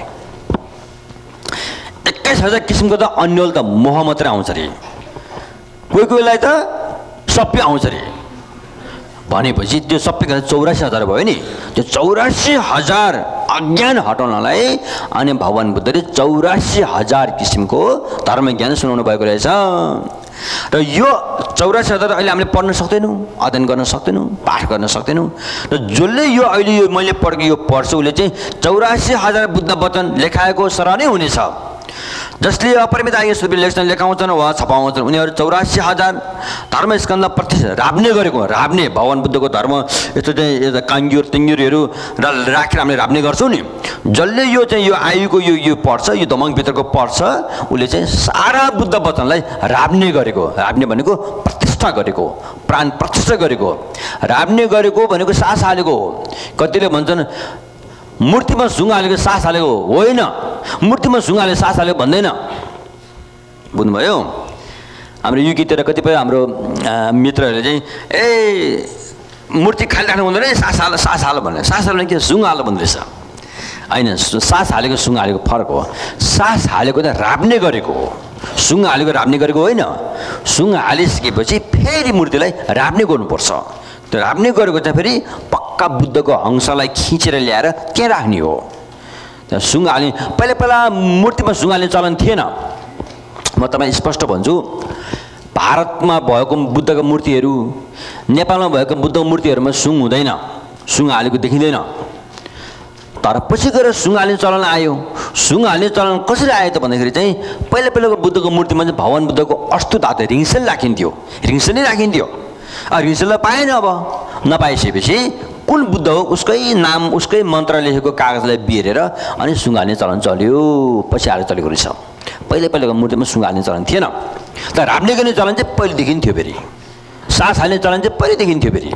है त्यसकारण सुङ हालेको र सास हालेको फरक कुरा हो। राप्ने गरेको र सास हालेको एउटै कुरा हो। भनेर बुझ्नु होला हुनेछ जसले यो अपरिमित आगे सुपी लेख्छन् लेखाउँछन् छपाउँछन् उनीहरूले पञ्च महापाप गरेको सबै पाप शोधन भएर जान्छ हेर्नुहोस् त पञ्च महापाप छम्मेङ्गाई छम्मेङ्गाई धिक्पा पाँचवटा महापाप छ अरे बाउ हत्या गरेको पाप आमा हत्या गरेको पाप अरतलाई मारेको पाप भगवान् बुद्ध मार्छु भन्ने मनसायले चाहिँ चोट पुर्याएको पाप र सङ्घलाई चुगली गरेर सङ्घ फुट गराएको पाप यी महापञ्च पाप भए यो महापञ्च पाप गरेपछि त्यो व्यक्तिको चाहिँ एकदमै खतम हुन्छ। त्यसैले महापञ्च पाप गरेको भए तापनि पछि त्यो व्यक्ति सुध्रिन चाह्यो भनेदेखि यो साधना गरेर त्यो पापलाई पनि पखाल्न सक्छ भन्ने कुरा आयो। जसले यो अपरिमित सूत्र लेख्छन् लेखाउँछन् वा छपाउँछन् उनीहरूको सुमेरी पर्वत समानको पाप पनि शोधन भएर जानेछ। है सुमेरी पर्वत समानको पाप। त्यो दिनका दिन गरेको पाप चाहिँ थोरै गरे पनि धेरै हुन्छ अरे त है। मोटो मोटो मान्छेहरूले खाना खान छोड्छ भने खाना खाइसक्यो हुन्छ नि उसले। कति बेला खाना खाएर थाहै हुँदैन भन्छ नि। त्यस्तै पाप पनि हामीले दिनका दिन गरेर आउँछ हामीलाई थाहा हुँदैन। है? छ्याल ठट्टामा पाप गरेको हुन्छ। छ्याल ठट्टामा कति बेला हामी ढाँट्छौँ होइन? त्यसकारण दिनका दिन गरेको पाप चाहिँ धेरै हुन्छ त्यो। सुमेर पर्वत जस्तै पाप पनि यो मन्त्रलाई राम्रोसँग साधना गरेर विधि पुऱ्याएर यसलाई हामीले चाहिँ अभ्यास गऱ्यौँ भनेदेखि त्यो पापलाई पनि पखाल्न सकिन्छ। जसले यो अपरिमित आइकन सुदुपयोग लेख्छन् लेखाउँछन् वा छपाउँछन् उनीहरूलाई मार र मार जातिको देवता मार र मार भनेको सैतान अब क्रिस्चियनहरू सैतान भन्छन् नि त्यस्तै। बुद्धिस्टहरू चाहिँ मार भन्छन्। धर्म अभ्यास गर्दाखेरि अनि भाषा आउने बाधा ल्याउने कुरालाई चाहिँ मार भनिन्छ। ती मार चाहिँ मार र मार जातिका देवताहरू किन्नरहरू यक्ष राक्षस आदिले भने अनि जसले तपाईँले यो यो दोमाङभित्रको यसलाई तपाईँले पाठ गर्नु भएको छ भने तपाईँलाई बिगार्न खोजे तापनि उनीहरूले बिगार्ने अवसर पाउने छैन जस्तै यो अपरिमित दायका सुबे लेख्छन् लेखाउँछन् छपाउँछन् उनीहरूको मृत्युको बेलामा उनान्सय कोटी उनान्सय करोड भवन बुद्धहरूको दर्शन पाउने छ। बुझ्नुभयो? यो ठुलो कुरा हो। किनभनेदेखि मर्दाखेरि त हामीले कसरी सहयोग दिन सक्दैन न बाउले दिन्छ न आमाले दिन्छ न छोराछोरीले। न श्रीमान श्रीमती जेसुकै माया लागे तापनि मर्दाखेरि माया दिन लाग्दैन हौ। माया लाग्दैन भने भन्ने कुरा म त दिन सक्दैन। आफू एक्लै हुन्छ। बेसाहारा हुन्छ। त्यति बेला चाहिँ तपाईँले यो अभ्यास गर्नुभएको छ भने उनासय कोटी भगवान् बुद्धहरूले प्रत्यक्ष दर्शन दिएर तपाईँको शिरमा हात राखे ए फलाना तिमी डराउनु पर्दैन है म तिमीलाई मद्दत दिन्छु भनेर सट्ट आउनुहुन्छ अरे भगवान् बुद्धहरू। बुझ्यौ? अरूहरूले हामीलाई फुल राख्दाखेरि खाता राख्दाखेरि पनि डराएर फुत्त राखेर भाग्छन् नजिक आउनु मान्दैन त्यति बेला। हाम्रो शरीर चाहिँ त्यस्तो हुन्छ। जुन शरीर अहिले हामीले राम्रा लुगा लगाएका छौँ घोसेनका लुगा गलाइँचामा चाहिँ सुताएका छौँ मिठो मिठो खाएका छौँ स्याम्पो लगाएर नुहाएका छौँ। त्यो शरीर भोलि गएर हबी भने मुज त्यति बेला चाहिँ यो जसले यो अभ्यास गर्यो भगवान् बुद्धले दर्शन दिनुहुन्छ तपाईँलाई। तपाईँलाई मद्दत दिन आउनुहुन्छ भनेर बतायो। उनीहरूले उनीहरूलाई भगवान् बुद्धले आफ्नो हात उठाएर रक्षा प्रदान गर्नुहुन्छ। अनि यहाँबाट प्राण फुत्त त्याग्न साथै पुरानै फुलबारीबाट फुलबारीलाई छोडेर नयाँ फुलबारीमा गाँस गरेर बुद्ध भुवनबाट बुद्ध भुवनमा गमन गराउने छन्। यस यसमा होला कि नहोला भनेर शङ्का गर्न हुँदैन फेरि। शङ्का गऱ्यो भने फेरि लङ्का पुग्छ भन्दै नि शङ्का गर्न हुँदैन। अहिले हामीले यो के अरे देवाचङ्गे मलम भनिन्छ कि सुखावती भूमिमा जाने मलम छ। त्यो मलम पाठ गर्दाखेरि चाहिँ साङ्गे होपामेको सिङ्गमा पुग्ला कि नपुग्ला भनेर पाठ गर्ने वाला मान्छे चाहिँ पुग्नै चाहिँ पुग्छ अरे। त कमलको फुल चाहिँ खोल्दैन थियो बुद्धको वचन सुन्दाले बुद्धको दर्शन पाउँदैन उसले। त्यो पुग्ला कि नपुग्ला भनेर शङ्का गऱ्यो नि? त्यो शङ्का पनि खतरा रहेछ नि। शङ्का गर्नुपर्छ हो। तर जहिले पनि शङ्का मात्रै गरेर बसेर हुँदैन फेरि। शङ्कालाई हटाउनुपर्छ फेरि। सुरुमा शङ्का आउँछ त्यसलाई हटाउनु पनि सक्नुपर्छ। त्यसैले होला कि नहोला भने कुनै शङ्का उपशङ्का दोमन नगर्नु। जस्तै यो अपरिमित आइकन शुद्ध विलेचन लेखाउँछन् वा छपाउँछन् उहाँलाई चतुर महाराजले चतुर महाराजले जहाँ गए पनि रक्षा गर्नेछन् सुरक्षा दिनेछन् तपाईँलाई गोप्य गरिराख्नेछन्। चतुर महाराज भनेको र तपाईँ ठुलो ठुलो गुम्बामा जाँदाखेरि गुम्बाको बाहिरै लेखा हुन्छ नि डरलाग्दा मान्छे र कोही हातमा त्यहाँ तलवार लिएका छन् कोही के लिएका छन् राखेको हुन्छ नि यो। घ्याल्सिन ऋषि भने चतुर महाराज हो तिनीहरू हुन् यिनीहरूले चाहिँ तपाईँलाई मद्दत दिन्छन्। हो त्यो रहेछ। जसले यो अपरिमित आइकन सुतपी लेख्छन् लेखाउँछन् वा छपाउँछन्। तिनीहरू अमिताभ बुद्धको लोकधातु सुखावती भवनमा जन्मिन्छ। सुखावती भवन है शब्दै मिठो सुखावती भवन। त्यहाँ दुःख भने केही पनि छैन। सुखै सुख। है पानी खाऊ भन्दाखेरि पानी पानी अमृतै पाइन्छ त्यहाँ फेरि। पानी नपाइने ठाउँ त्यहाँ अमृत पाइने ठाउँ। सुखावती भवन भनेको है शरीरमा पसिना नआउने। अब हामीले त्यहाँ आएर पसिना आउँछ पसिना आएपछि दुर्गन्ध आउँछ नुहाउनु पऱ्यो त्यहाँ शरीरमा पसिनै नआउने। त्यस्तो ठाउँ होइन? त्यहाँ चाहिँ फेरि अहिले हाम्रो आमाहरूले बच्चा पाउँदाखेरि आमाहरू भनेको ठुलो कुरो हो। मलाई के अनुभव भयो भने आफ्नो कोखमा छोरी जन्माउनु चाहिँ ठुलो भाग्य कुरो रहेछ। मलाई यसपालिदेखि मलाई अनुभव भयो मेरो आमा बिरामी हुनुभयो म अलिकति धर्म ज्ञान पढेको व्यक्ति हो। मलाई थाहा छ आमा बाउको गुण कस्तो महत्त्व हुन्छ भन्ने कुरा हामीले अलिअलि अध्ययनै गरेको हुन्छ बुद्ध धर्ममा सुरुमै आमाको कुरा आउँछ। तर पनि हामीले चाहे जस्तो आमालाई मद्दत दिन सक्दैनौँ किनकि म छोरा भएँ। छोराले चाहिँ बाबा आमालाई चाहे जस्तो मद्दत गर्न सक्दैन। त्यो छोरीले सक्छ। त्यस कारण मेरो माइली बहिनी आयो उसले आमालाई यति स्याहार्यो दुई वर्षसम्म यति स्याहारो यति स्याहारो कि त्यो देखेर म छक्क भएँ। त्यसकारण आफ्नो कोपमा छोरी जन्मनु भनेको त्यो बाबुआमा चाहिँ भाग्यमानी हुन्। त्यो त्यसो भएकोले छोरी भन्ने बित्ता उहाँहरू कस्तो फेरि हुन त बाबुआमा उस्तै हुने होइन तर फेरि आमाको काम चाहिँ व्रत हुन्छ फेरि। किन नौ महिनासम्म बच्चा पाल्नुपर्छ। व्रत हुन्छ आमाको काम। त्यसमा आमा महान हुनुहुन्छ। छोरी मान्छे महान छन् तर सुखावती भवनमा आमालाई चाहिँ त्यो दुःख भोग्नु पर्दैन। उहाँले नौ महिनासम्म बच्चा पाल्नु पर्दैन किन उहाँ काखमै बच्चा जन्मिन्छ अरे बाहिरै बच्चा आउँछ अरे। है चमत्कारी ढङ्गबाट बच्चा जन्मिने है आठ आठ वर्षको जस्तो हुन्छ अरे सलक्कै बच्चा जन्मिने। आफ्नो पेटमा आमाले चाहिँ त्यो दुःख भोगेर नपर्ने। हो त्यस्तो। जुन स्थानमा यो उत्तम रत्न सूत्रपिटक जुन यो अहिले बताएको धोमङ सूत्रपिटक लेखी स्थापना गरिराखेको हुन्छ। त्यो स्थान पनि पूजा गर्न योग्य हुन्छ वन्दना ढोक गर्न योग्य हुन्छ। पशुलोकमा जन्म लिएका चराचुरुङ्गीको कानमा पनि यो मन्त्र सुनाइदियो भनेदेखि त्यो चराचुरुङ्गी पनि भोलि गएर समक्ष बुद्ध हुने नै सौभाग्य पाउनेछन्। मैले यसो पूजा गर्दाखेरि खेल्दाखेरि आमा बाउ भनेको कति महत्त्वपूर्ण रहेछ हामी बच्चाहरूको लागि भन्दाखेरि उनीहरू बच्चाको लागि जे पनि गर्न तयार पाप पनि गरेर पछि हट्दैनन्। होइन? त्यो बच्चाको राम्रो हुन्छ भने उनीहरू पाप पनि गर्छन् उनीहरू। बच्चालाई कस्तो माया दिँदो रहेछ उनीहरू? कति भरोसा गर्ने? त बच्चाले चाहिँ आमाले त्यो बाबाले त्यति गर्दैन फेरि। जति आमाले बच्चाले गर्छ है? हेर भन्छ नि हाम्रो नेपालीको उखानमा आमा बाउको मन के मान्छे छोरा मन के ढुङ्गामाथि भने त्यस्तो हुन्छ। त्यसो भएर बाबुआमा भने चाहिँ बच्चाको लागि चाहिँ ठुलो महत्त्वपूर्ण कुरा रहेछ। अब बाबुआमा नहुने बच्चा कति छन् कति छन् है? टुरा छन् है? उनीहरू बिचारा भन्नुपर्छ है? उनीहरूलाई बाबुआमाको माया पाएको हुँदैन उहाँहरू। हो त्यस्तो।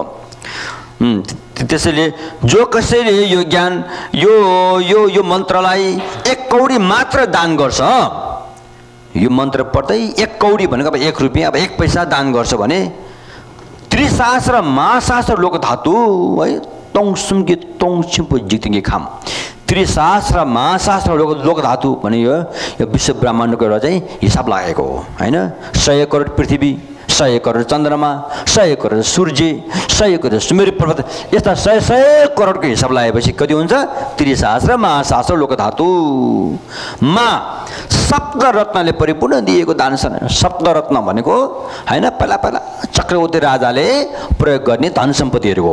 हात्ती रत्न घोडा रत्न यसो त हुन्छ अरे। उनीहरूको त्यहाँ मन्त्री रत्न पनि हुन्छ अरे। चक्र रत्न मणिरत्न हुन्छ अरे यस्तो रत्न। सातवटा रत्न परिपूर्ण गरेर चाहिँ हरेक दिन भवन बुद्धलाई दान दियो भने कति पुण्य पाउँला? धेरै पुण्य पाउँछ नि। त्यो भन्दा पनि यो मन्त्र वाचन गरेर एक कौडी मात्रै दान दियो भने त्यति धेरै पुण्य प्राप्त हुन्छ भनेर बतायो जसले यो धर्म पर्यायको पूजा गर्छ गराउँछ त्यसले समस्त बुद्ध वचन रूपी सम्पूर्ण परम धर्मलाई सगौरव पूजा गरेको समानै हुनेछ। बुद्ध वचन भनेको भगवान् बुद्धले बताएको वचनहरू काङ्ग्युरीहरू भयो। काङ्ग्युरलाई बुद्ध वचन। तेन्ग्युर चाहिँ बुद्ध वचन होइन फेरि। तेन्ग्युर भने चाहिँ काङ्ग्युरको व्याख्या। काङ्ग्युरको अर्थ बुझ्न गाह्रो छ नि त। काङ्गिरको अर्थ बुझ्न गाह्रो भएकोले त्यो काङ्गिरको अर्थ चाहिँ सजिलैसँग बुझोस् भनेर अनि पछिका होइन ठुला ठुला विद्वान व्यक्तिहरूले लेखेकोलाई चाहिँ तेन्गिरु भनियो। बुद्ध वचनलाई चाहिँ काङ्ग्युरु भनियो। अहिलेसम्म हामीसँग भएको भगवान् बुद्धको वचन चाहिँ यिनै हुन् काङ्ग्युरु ऊ यसरी पूजा गरेर आएछ नि। यो यो यहाँ यहाँ राखेको कति वर्ष भयो? तपाईँले कहिले यहाँ खोलेर पढ्ने गर्नु भएको छैन छैन है पूजा गरेर राखे के छ थाहा छैन त्यस्तै भयो अब यसलाई पाठ्य पुस्तक बनाउनुपर्छ बुझ्नुभयो यसलाई करिकलममै राख्नु राख्नुपर्छ हामीले यो पूजा गरे गऱ्यो भने यतिकै सकिन्छ यो यो तपाईँले पढ्नुको लागि राखेको हो यो गुम्बा भनेको स्कुल हो गुम्बा भनेको विश्वविद्यालय हो गुम्बामा गएर सिक्नुपर्छ ध्यान गर्नुपर्छ पढ्नुपर्छ पूजा मात्रै गरेर पुग्दैन पूजा मात्रै गरेर पुग्ने भयो त? के हुन्थ्यो त? अनि हामी सबै बुद्ध हुन्थ्यो उहिले। पूजा कति गऱ्यो है? अहिले बुद्ध हुनु सकेको छैन? किनकि त्यति मात्रै नपुग्दो रहेछ। पूजा पनि गर्नु त पर्छ तर पूजाको अर्थ पनि बुझ्नुपर्छ। अर्थ बुझेर पूजा गर्नुपर्छ। पूजा गर्न सजिलो काम होइन। हाम्रो यता हाम्रो वैदिक धर्ममा ओम जय जगदीश हरे भन्छन् है? मजासँग भाग लाउँछन् है। त बुद्धको पूजामा त्यति त्यति मात्रैले पुग्दैन। बुद्धको पूजा त गा त छ्याग्या टेङ्गिजिन पनि हुन्छ। उच्चारण गर्ने मन्त्र गा शुद्ध हुनुपर्छ। छ्याग्या हातका मुद्राहरू पनि सही हुनुपर्छ। उल्टो पाटो भयो भने गयो फेरि। है अब तपाईँले हाम्रो यहाँ दोर्जे घुमाउँछ नि। बुद्धलाई भएर यताबाट घुमाइदिन्छ बुद्ध भएको छ उता जाऊ भनेको होइन? यताबाट घुमायो भने आऊ भनेको गेक भार भार्से भवन भवन पऱ्यो यताबाट घुमायो भने झन् आउँछ यता। यताबाट घुमाउनु पऱ्यो यो मुद्रा चाहिँ धेरै खतरा कुरा हो। राम्रोसँग बुझ्नुपर्छ। त्यसकारण गाँत छ्याग्या त्यो सँगै क्या तेङ्गिजिन अर्को महत्त्वपूर्ण कुरा ध्यान हुनु पऱ्यो फेरि। उच्चारण गरिने मन्त्र हातका मुद्रा र समाधि ध्यान सँगसँगै भएर पूजा गर्ने। है? होइन भने त के हुन्छ? ऊ त त्यस्तै हो। फल पनि त्यस्तै पाइन्छ फेरि। हिजो भर्खर हाम्रो एकजना मित्रले भन्नु हुनुहुन्थ्यो काठमाडौँमा हाम्रो एकजना मनाङ्गे दाईको घरमा पूजा गरेको भने त्यो झिन्दा काँचा थाहा छैन रे एक ताप्के चाउचो पकाएर राखेको रहेछ अरे लामालाई एक थर्मस चिया पनि राखेको रहेछ अरे खाता र खाम पनि ठ्याक्कै राखेको रहेछ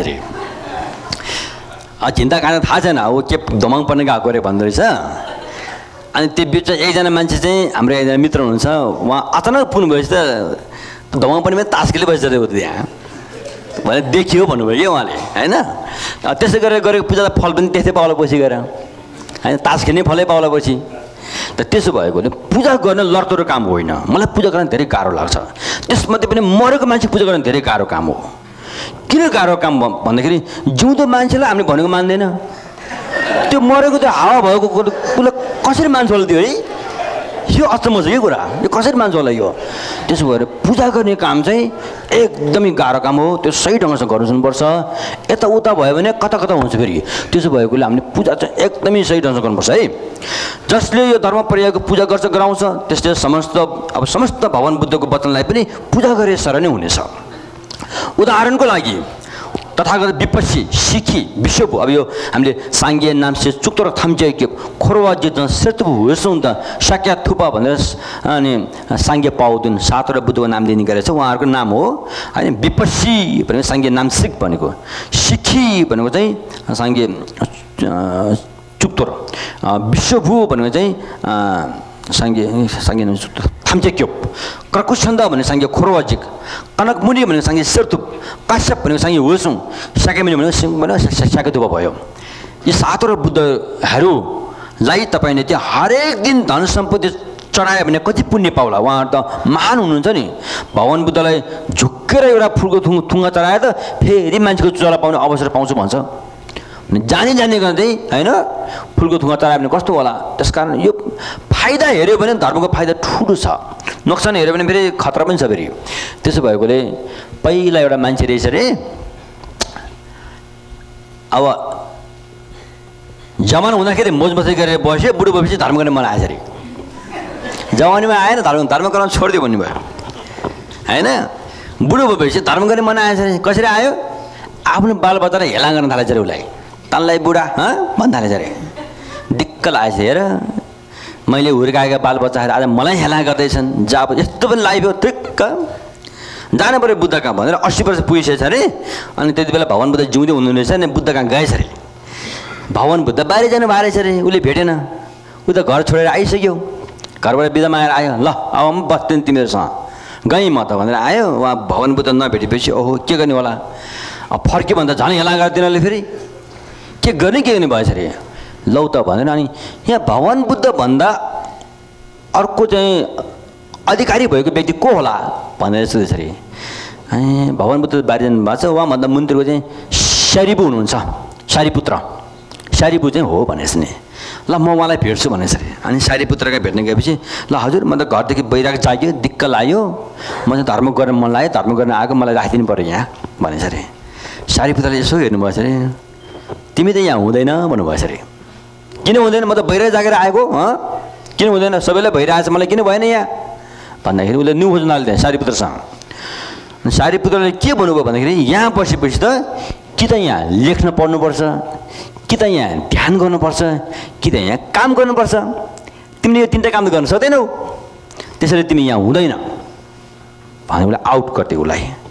अब उसलाई ठुलो समस्या रात परिसक्यो त कहाँ जाने? घरमा जाउँ झन् हेला गर्लान्। जाने कुरा आएन। अब बुद्ध कहाँ उसले लिन लिन मानेन। अनि आत्महत्या गर्ने मन आएछ हेर्नुहोस् है मान्छे जस्तो हुन्छ। आत्महत्या गर्छु भनेर जाँदाखेरि चाहिँ अनि भिरबाट हाम फाल्न आँट्दाखेरि कसरी एक पक पक भनेर है ठ्याक्कै हेर्दाखेरि भगवान् बुद्ध फर्केर आउनु भएको रहेछ अरे। सायद उहाँ कहीँ जानुभएको थियो। फर्केर सम्झौले उसको कर्मले ठ्याक्क बुद्धसँग भेट भयो। पक पक भन्नुभयो। के गर्न आँटेको भन्दाखेरि आत्महत्या गर्न आयो। किनभनेदेखि म घरबाट छोडेर आएँ। हजुरको चलाहरूले पनि मैले लिनु मान्नु भएन। अब म के गरौँ त? अब म जीवित रहेर यो पृथ्वीको भार बनेर म के गरौँ त अब? भन्दाखेरि अनि आत्महत्या गरेर समस्या समाधान हुन्छ त? त्यहाँदेखि त्यत्रो खराब काम गरेको त्यो पाप काटिन्छ आत्महत्या गरेर भन्दाखेरि काटिँदैन। ल आइज म लान्छु भनेर उहाँ लानुभयो भगवान् बुद्धले बोलाएर लानु है। त्यहाँ त हल्ला खल्ला भएछ। सारी पुत्रले त्यागेको मान्छे फेरि बुद्धले फर्काएर ल्याउनु भयो के अचम्म भयो त?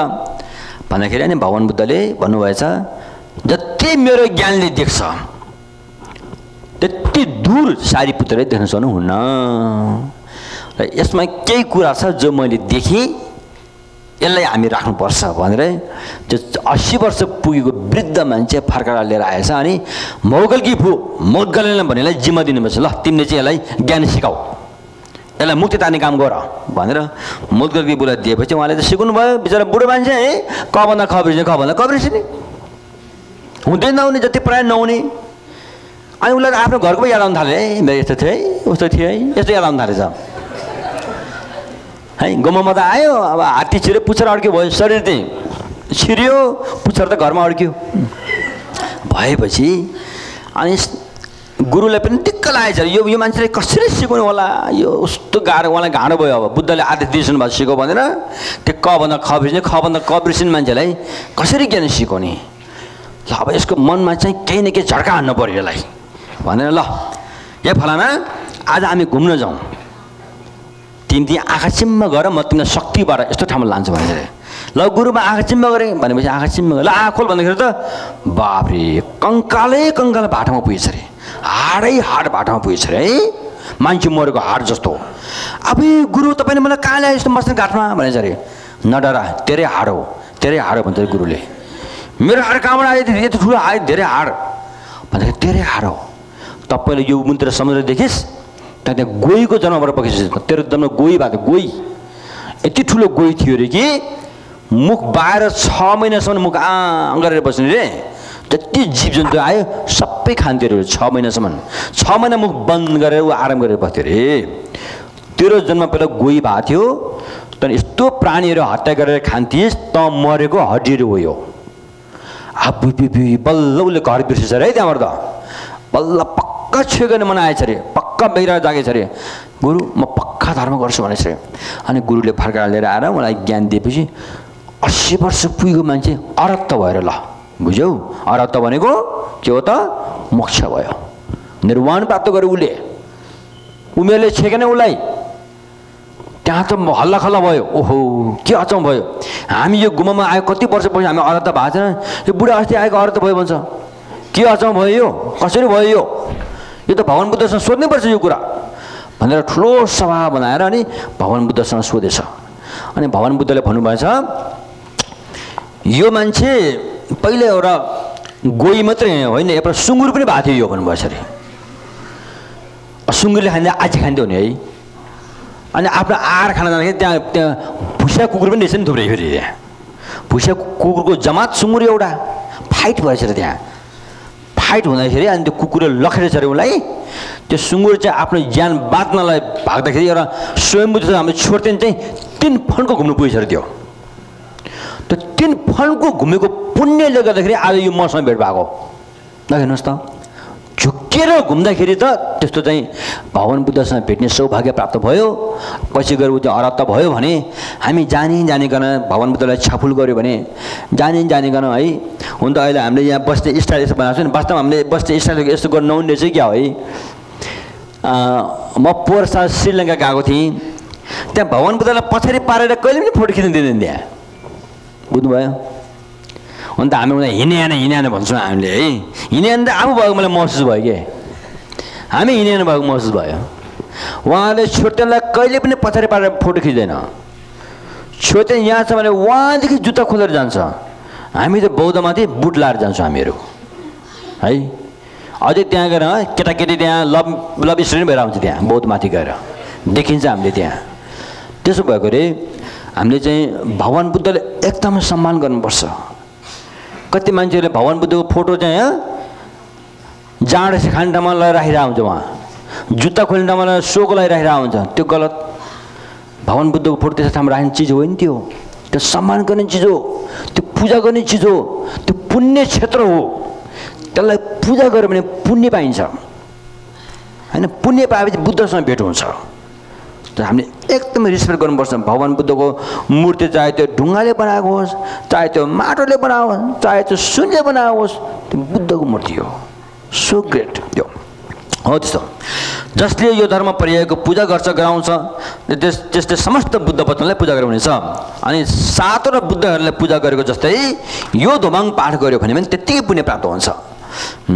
र यसको पुण्यको पुण्य त्यो सातवटा बुद्धहरूलाई पूजा गरेको पुण्य यति होला भनेर बरु गणना गर्न सकिएला तर यो धोमङभित्र रहेको अपरिमितको जुन जुन यो सूत्र पिटक हामीले पाठ गऱ्यौँ अरूले पाठ गर्न लगायौँ अरूले पाठ गर्यो हो राम्रो गर्यो भनेर स्वीकार्यो भनेदेखि त्यसको पुण्यको गणना गर्न सकिँदैन। त्यसै गरी रत्नको राशिलाई सुमेरु पर्वत जम्मा सुमेरु पर्वतको बराबर जम्मा गरी दान दिएको पुण्यको सारा बरु गणना गर्न सकिएला। यो धुमाभित्र लेखिएको अपरिमित सूत्र पिटकको पुण्य स्कन्दको सार यति छ भनेर गणना गर्न सकिँदैन। त्यसै गरी जलले जल भने पानी। पानीले भरिपूर्ण भएको चारवटा महासागरको पानी थोपा थोपा गरी गाउने भने बरु त्यो समुद्रै खाली गर्न सकिएला रे। तर यो धोमङभित्र रहेको यो पाठ गर्नाले यसको पुण्यको राशि यति छ भनेर गणना गर्न सकिँदैन। जसले यो अपरिमित पुस्तक लेख्छन् लेखाउँछन् छपाउँछन् सगौरव पूजा गर्दछन् उसले दसैँ देशका सम्पूर्ण बुद्ध भूमिमा विराजमान हुनुभएका बुद्धहरूलाई वन्दना ढोक पूजा गरेको समानै हुनेछ। अब यसपछि यहाँ जिम्बे तुप्की सङ्घीय याङदप्पा भने यो पहिले पनि हाम्रो लामा गुरुहरू माग्न आउँछ नि हिजो त अब लामा गुरु धनी भए त्यति माग्नु नहोला नि। पहिला पहिला चाहिँ म पनि गएको छु है। डम्बर घन्टी बजाएर जिन्दाको घरमा गएर होइन मकैको बेला मकै माग्ने कोदोको बेला कोदो माग्ने माग्नु जान्थ्यो है। म म पहिला निङमा गुम्बामा पढेको व्यक्ति हो। निङमा गुम्बा त हो तर त्यो निङमा गुम्बा भनेको थिएन फेरि अलिअलि पिउने खालको थियो फेरि। अब जैसा गुरु वैसै चला त हो। अनि गुरु पनि पिउने हामी पनि पिउनेपट्टि लाग्यो अनि जिम्बे तुप्पीसँग यहाँ भने माग्दाखेरि झिन्दाले भित्र बोल्थ्यो अनि सर्किम भने सर्किम गरिदिन्थ्यो। सर्किममा अहिले हामीले हामीले नै खान्थ्यो फेरि। त्यस्तो थियो क्या तरिका? पछि पछि थाहा पायो यो चिज खान नहुने रहेछ भने पछि पछि बुझ्दै गयो होइन? कुरो त्यस्तो। त्यो बेला पढ्ने हो नि यो जिम्मे तुप्पी अब यसलाई हामीले चाहिँ नेपाली भाषामा यसरी उठ गरेछ। दानको बलले हुनुभयो समुद्रको बुद्ध। जिम्बे तप्कीसँग यहाँ नपा भगवान् बुद्धहरू दान गरेरै बुद्ध हुन्छन्। कन्जुसी मान्छे कहिले पनि बुद्ध हुन सक्दैन। कन्जुसी मान्छे कहिले पनि धनी हुँदैन भले उसँग धन सम्बन्धी जेसुकै होला त्यो कन्जुसी नै हुन्छ त्यो गरिब नै हुन्छ हाम्रो बुद्ध धर्ममा दानको ठुलो महत्त्व छ दान दिनुपर्छ हात फैलाएर दान दिनुपर्छ सबभन्दा राम्रो ब्याङ्क भनेको दान हो दान दिने ठाउँ धेरै ठाउँ हुन्छ होइन अहिले हामीले यहाँ भगवान् बुद्धलाई हरेक दिन यहाँ पानी चढाएको छ नि यो दान हो दान गरेको हो होइन? तपाईँले चाहिँ आफ्नो घरमा चाहिँ एउटा बाटोमा चाहिँ सफा पानी भएर राख्नुहोस् त। कति चराहरू आएर त्यो पानी खान्छ। त्यो दान हो। तपाईँले एक मुठी चिनी लिएर फुलबारीमा हाल्नुहोस् त कति कमी लिएर खान्छ। त्यो दान हो। दानमा हामी एकदमै अगाडि बढ्नुपर्छ। दानमा पास नभइकन कोही पनि बुद्ध हुन सक्दैन। त्यसकारण अहिले हामीले याङ्गु याङ्गु गर्छ नि। याङ्गु पूजा। थाहा छ? याङ्गु। थाहा होला नि है। दादाहरूले तान्छ नि। बादमा त्यो चोरेको हो चोरेको हो त्यो सही ढङ्गसँग गरेन भने त्यो पाप हो निन्जे झ्याङचुपी सेम्बाट गऱ्यो भने चोरेको पनि पुण्यमा लानु सक्नुपर्छ होइन त्यो चोरेको चाहिँ कसको धन चोरेको छ जो जो कन्जुसी भएर धन लुकाएर राख्छ ढुसी पारेर राख्छ आफू पनि नखाने अर्को पनि नदिने उसैसम्म ल्याएको हो त्यो मन्त्रले चोरेको थियो होइन सेतो महाकाल जम्बलहरूको मन्त्र प्रयोग गरेर लिएर आएको यता त्यस्तो हो त्यही भएर म उता स्वयम्बुद्ध त्यो याङको पूजा गरेर जब त्यो झन्डा उठाउने बेला भएपछि छिमेकी मनाङेर झालसबै बन्द गर्दो रहेछ नि उतातिर मलाई थाहा थिएन यो पछि मलाई थाहा भयो किन झ्याल बन्द गर्छ भन्दाखेरि तानेको रहेछ त्यो त्यस्तो गरिँदैछ त्यसो भएकोले यो याङको पूजा पनि आफ्नो स्वार्थको लागि गऱ्यो भने त्यो चोरेकै हुन्छ चोरेकै पापसम्म लाग्छ मन्त्रले चोरेको हुन्छ त्यो तर छ्याङछुकी सेम करुणा दया यो कन्जुसीको धन ल्याएर मैले धेरैलाई उपकार गर्न सकोस् भने त्यो पुण्य भयो फेरि। त्यो राम्रो भयो। होइन? त्यही भएर माओवादीहरूले भन्छ नि हामी पनि बुद्धको शिष्य हो बुद्धको शिष्य भन्छ नि। धनीका सम्पत्ति ल्याएर गरिबले बाँड्ने हो बुद्धको शिष्य हो भन्छ उनीहरूले। हँ? त्यही हदसम्म त हो जस्तो लाग्छ है।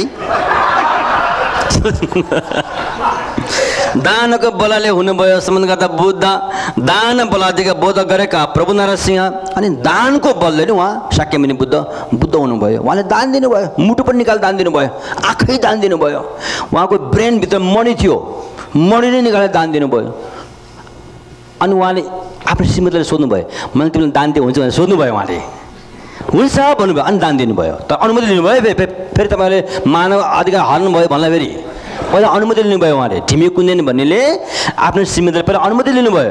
हजुर राजकुमारी सुखमा बस्नु भएको म जङ्गलमा जाँदैछु। तपाईँ भोलि कसै माग्न आला फेरि समस्या पर्ला भन्नु है। होइन सुखमा सुख दुःखमा दुःख। हजुर मेरो श्रीमान मैले हजुरको अभ्यासमा कुनै पनि बाधा डाल्दिनँ म। भनेर सँगै जानुभएको है। पछि उहाँ श्रीमती पनि दान दिनुहुन्छ उहाँले। छोराछोरी दान दिनुहुन्छ। त्यस्तो कुरा हो। आखिरमा दिने त हो। तपाईँ मरेर गएपछि तपाईँ श्रीमती पहिला पनि जान सक्छ। तपाईँ मरेर गएपछि अनि तपाईँको श्रीमतीले अर्को पनि ल्याउन सक्छ। देखेको कुरा हो। धेरै लोप गर्न हुँदैन। है धेरै लोप गर्न हुँदैन। दान बल शब्द प्रख्यात भयो। शिलको बलले हुनुभयो समुद्र गर्दा बुद्ध। शिल बलादिको बोध गरेका प्रभु नारायण सिंह। करुवा नगरमा प्रवेश भयो। शिल कति मिठो शब्द। शीतल। शिल शीतल। शिल पालन गरेकै मनमा शीतल भइहाल्यो। शरीरमा शीतल भइहाल्यो। त्यसमा पञ्चशील। पञ्चशील मात्रै पालन गर्यो भने पनि शीतल भयो। त्यो परिवारमा कहिल्यै झगडा हुँदैन। कहिल्यै नराम्रो हुँदैन। मङ्गल टास हामीले टासी देलेक भन्छौँ नि त्यो छाङको पत्ता यहाँ राखेर त टासी दिँदा नहोला कि? होइन? जाँडा खाएर माथिमा टासी धेले हुँदैन नि त। टासी धेलेक भनेको त शीतल हुने पवित्र हुने। मङ्गल हुने। जहाँ पाइला टेके पनि मङ्गल हुने। त्यस्तो शिल पालन गरेको व्यक्तिको हातले कसैको टाउकोमा छोयो भने पनि टाउको दुख्यो पनि निको हुन्छ। अहिले त्यो टेक्निक के के भन्छ जुडाई भन्छ रेकी भन्छ त्यहाँ प्रयोग गर्छ नि। त्यस्तो शिल पालन गरेर गर्ने हो नि त्यो त। अँ, शान्तिको बलले हुनुभयो सम्बन्ध बुद्ध शान्ति पनि सेपा सेपा सबभन्दा ठुलो तपस्या रहेछ यो हामी नखाएर नपिएर शरीरलाई तर्पाएको तपस्या भन्दा पनि सहनशीलताको तपस्या चाहिँ सबैभन्दा ठुलो रहेछ। सहनशीलता। त्यसैले हामीले सहनशीलता भनेको के होला के होला भन्दाखेरि चाहिँ सहनशीलता भनेको चाहिँ अहिले त मैले सकिनँ पछि तँलाई पक भने त्यसलाई सहनशीलता भन्दैन हो। होइन? अहिले त मैले सहेर बसेँ नि पछि तँलाई पख मेरो पनि मौका आउला नि भन्छ नि। त्यसलाई सहनशीलता भन्दैन। सहनशीलता भनेको सहनशीलता भनेको अहिले भर्खर तपाईँ खुसी हुनुहुन्थ्यो अब तपाईँ दुःखी हुने परिस्थिति आयो। त्यो दुःखी हुने परिस्थिति आउँदाखेरि पनि तपाईँ खुसीमा कायम रहन सक्यो भने त्यो सहनशीलता हो। मनको सन्तुष्टतालाई भड्किन नदिएर मन चाहिँ सदा सन्तुष्टमा रहन सक्यो भने त्यो सहनशीलता हो। त्यस्तो। त्यसैले शान्तिको बलले हुनु बुद्ध हुने व्यक्ति चाहिँ सहनशीलता भएर नै बुद्ध हुनुहुन्छ। नसहने ख के अरे अब छ नि अब यस्तो रिसालु व्यक्ति। एकदमै रिसालु व्यक्ति है। मनीदेखि रिसालु। मुखमा त रिसाएर त्यति फरक पर्ला होइन? त मनीदेखि रिसायो भने त्यो खतरा हुन्छ। त्यो पाप हुन्छ। श्राप दिन्छ। अरूलाई मरिजा पनि श्राप दिने त्यस्तो पनि हुन्छ नि। त्यस कारण मनैदेखि रिसाएर गरेको काम चाहिँ सबै पाप हुन्छ। हामीले धर्म कर्म चाहिँ करकापले गरेको राम्रो हुँदैन। करकापले गरेको करकापै हुन्छ त्यो। फल राम्रो पाउँदैनौ त्यसै उत्साह हुनु पऱ्यो ए उत्साह। धेरै नसुत उत्साह हुनु पऱ्यो हाम्रो यो शरीर धेरै मोज मस्ती गरेर जति मोज मस्ती गऱ्यो उति घा घाटा छ। यो शरीर जति खुवाए पिलाए उति घाटा छ। है? यो त आफूले काट्ने हतियारले उद्याए जस्तो हो। त्यसै यो शरीरलाई अब ठिकसँग खुवाउने ठिकसँग सुताउने काम गराउनुपर्छ यसलाई। यसलाई काम लाउनुपर्छ। यसलाई अल्छीमा राख्नु हुँदैन यसलाई। अल्छीमा राखेको त्यो मान्छे मऱ्यो मरेसर भयो। जो आराम त्यो मऱ्यो भने जस्तो। यो शरीरलाई हामीले फेरि पाउँदैन फेरि यो। यो फेरि पाउँदैन फेरि। होइन? यो बुढो हुनुभन्दा पहिले यसलाई काम लगाइरहनुपर्छ पुरै। होइन? सही ढङ्ग छ यसलाई पाप गर्न दिनु हुँदैन यसलाई।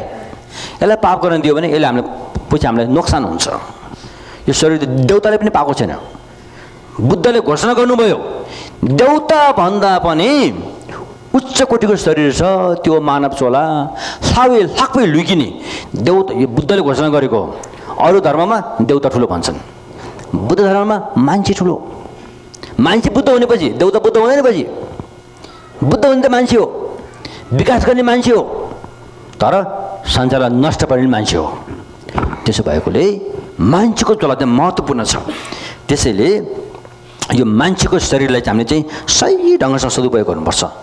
अत्तिमा जानु हुँदैन। धेरै चिनी खायो भने तितो हुन्छ भन्छ नि अत्तिमा गएपछि। कुनै पनि कुराको अत्तिमा जानु हुँदैन। भगवान् बुद्धको बाटो भनेको मध्यम मार्ग हो मध्यम मार्ग। होइन त्यसैले हामी चाहिँ ठिकसँग खाने ठिकसँग होइन यो शरीरलाई पुरा गर्नुपर्छ। त्यसैले वीर्य अल्छे हुनु हुँदैन। अल्छी त भइहाल्छ फेरि हामी। हे भोलि गरौँला नि हँ? एकछिन सुतौँ अथवा के त्यति बेला तपाईँले ध्यान गर्नुपर्छ। ध्यान गर्नुपर्छ। ध्यान कसरी गर्ने? जाँगर जगाउने। अहिले हामी मान्छे भनेको कस्तो हो अरे भन्दाखेरि कसाई र भैँसी कसाई र भैँसी जस्तै हो अरे। यहाँ त भैँसी पाउँदैन होला होइन? नेपालमा त भैँसी काट्छ नि कसैले है? मोमो खान्छ खायो होला मोमो मोमो खायो होला त भने है? भैँसी भैँसी मोमो हो। कसैले भैँसी काट्दाखेरि पहिला कसैले एउटा भैँसी काट्यो कसै थाक्छ अरे? अर्को भैँसीले घाँस खान दिएर आउँछ। अर्को भैँसी चाहिँ म चाहिँ बाँचेँ भनेर मजासँग घाँस खान्छ क्या त्यो? हामी चाहिँ भैँसी जस्तो भइरहेछ। किनभने मृत्युले हामीलाई हेरेर आउँछ। तपाईँ जेसुकै आराम गरे पनि मृत्यु आराम बस्दैन। मृत्युले त हेरेर आउँछ। हरेक क्षण हरेक क्षण हेरेर आउँछ। सुत्दा बस्दा उठ्दा हेरेर आउँछ। है? त्यो कसैले त्यो भैँसीलाई घाँस खान दिएको भैँसीलाई माया गरेर होइन ऊ थाकेर हो। मृत्यु पनि मार्दा मार्दा थाकेर एकछिन तपाईँलाई आराम दिएको तपाईँलाई। ऊ छोड्नेवाला छैन तपाईँलाई? छोड्नेवाला छैन? त्यसो भएकोले हामी अल्छी मान्नु हुँदैन। त्यो मृत्युले हामीलाई आक्रमण गर्नुभन्दा पहिले हामीले आफ्नो बाटो चाहिँ तत्तै हाल्नुपर्छ। तयारी पारिहाल्नुपर्छ यसरी अल्छी हुनु हुँदैन भनेको त्यही भएर वीर्यको बलले हुनुभयो समुद्रगत बुद्ध। वीर्य बलादिक बोध गरेका प्रभु नारायण सिंह करुणावानको नगरमा प्रवेश भयो। वीर्य बल शब्द प्रख्यात भयो। वीर्य कोसिस गर्ने व्यक्ति नै बुद्ध हुन्छ। अल्छी हुने व्यक्ति च्यादा पाउन सक्दैन। के बुद्ध होला है? त्यस कारण कोसिस गर्ने व्यक्ति नै बुद्ध हुन्छ। ध्यानको बलले हुनुभयो समुद्रगत अब ध्यान आयो फेरि। ध्यान गर्नुपर्छ अरे। ध्यान भनेको के हो त? ध्यान भनेको छरिएको मनलाई बटुलेर एक ठाउँमा ल्याउने। त्यसलाई ध्यान भनिन्छ छरिएको मनलाई किन बटुल्नु पऱ्यो भन्दाखेरि छरिएको मनमा ताकत हुँदैन। ताकत नभएपछि मनमा के हुन्छ? भोक लागेपछि के हुन्छ? रिस आउँदा आउँदैन। भोक लागेको मान्छेलाई रिस छिट्टो आउँछ। बुझ्नुभयो? किनकि मन छरियो। जब खाना खाएपछि उसलाई रिस आउँदैन किनकि मन अलिकति एक ठाउँमा आयो अलिकति आयो। भने जस्तो छरिएको मनमा ताकत हुँदैन। त्यहाँ रिस आउँछ त्यहाँ लोभ आउँछ त्यहाँ हरेक नराम्रो घटना हुन्छ। जब मन आफ्नो घरमा आयो एक ठिक्कामा आयो मनमा ताकत आउँछ मनमा शक्ति आउँछ मनमा जाँगर आउँछ। त्यसैले ध्यान गर्न जरुरी छ। हामी त ध्यान गर्दैन है। पाठ चाहिँ बेसरी गर्छ हामी ध्यान गर्दैन। माला बेसरी जप्छ ध्यान गर्दैन। पचासौँ जोर जुत्ता खिएर भने स्वयं बौद्ध घुम्छ ध्यान गर्दैन हामी। तर भगवान् बुद्धले हामीलाई सिकाउनु खोज्नु भएको ध्यान हो। ध्यान गर्नै पर्छ। हामीले माला जपेको कोरवा छ्याछुपा गरेको अन्तिममा ध्यान गर्नुलाई नै गरेको त्यो।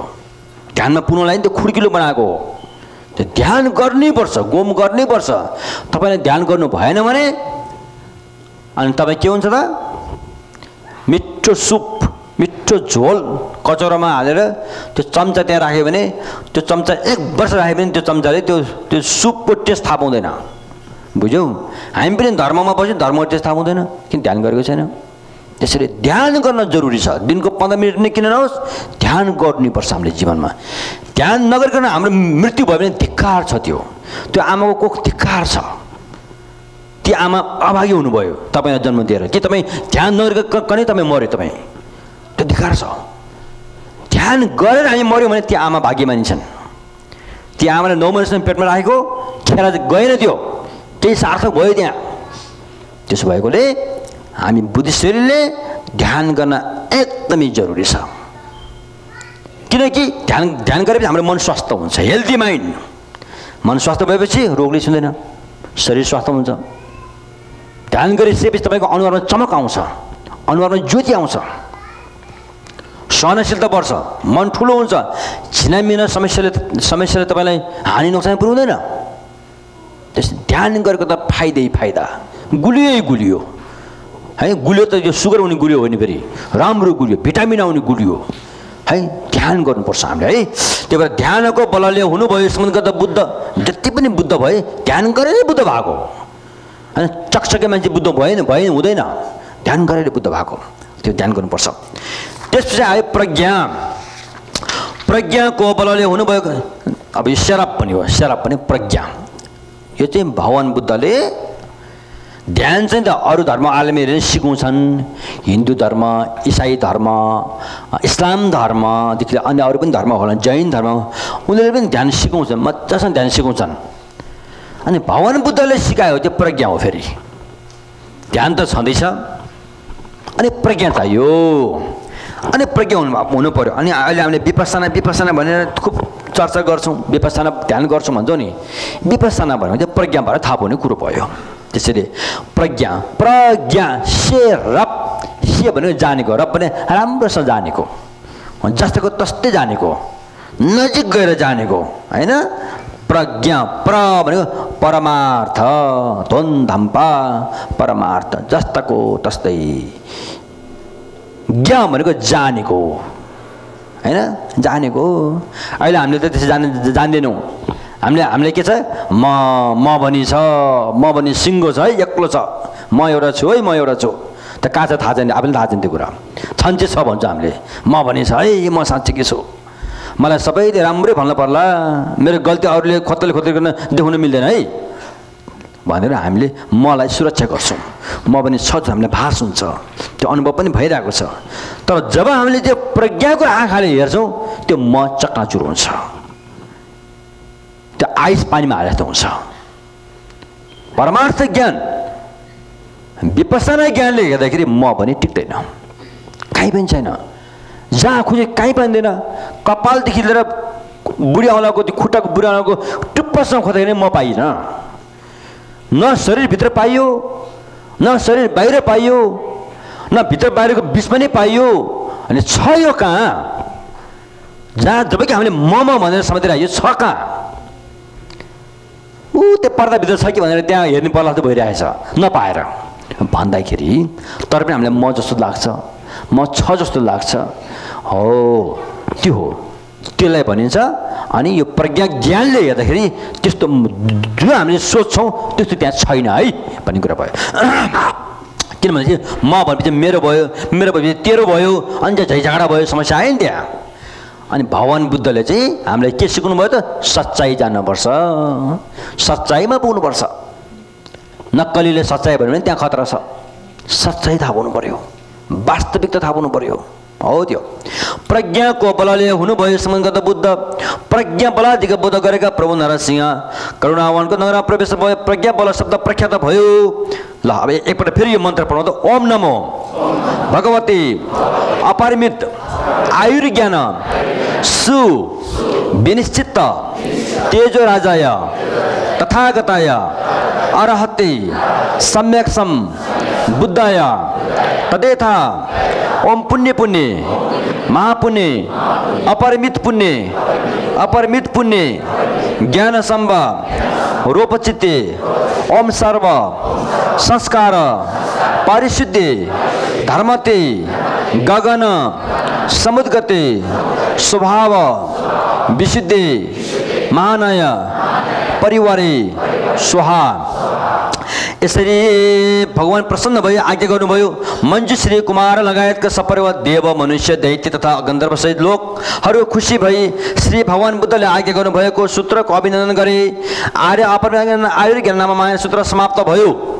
यहाँसम्म चाहिँ हामीले यो दोमाङको चाहिँ जुन यो विशेष गरेर आयु लामो गर्ने बच्चाहरूको त बर्थडेहरूमा पढ्नुपर्ने यस्तो चाहिँ कुनै दान पुण्य गर्दाखेरि पढ्नुपर्ने। हामीले धोमाङको यो सूत्रहरू हामीले वाचन गऱ्यौँ।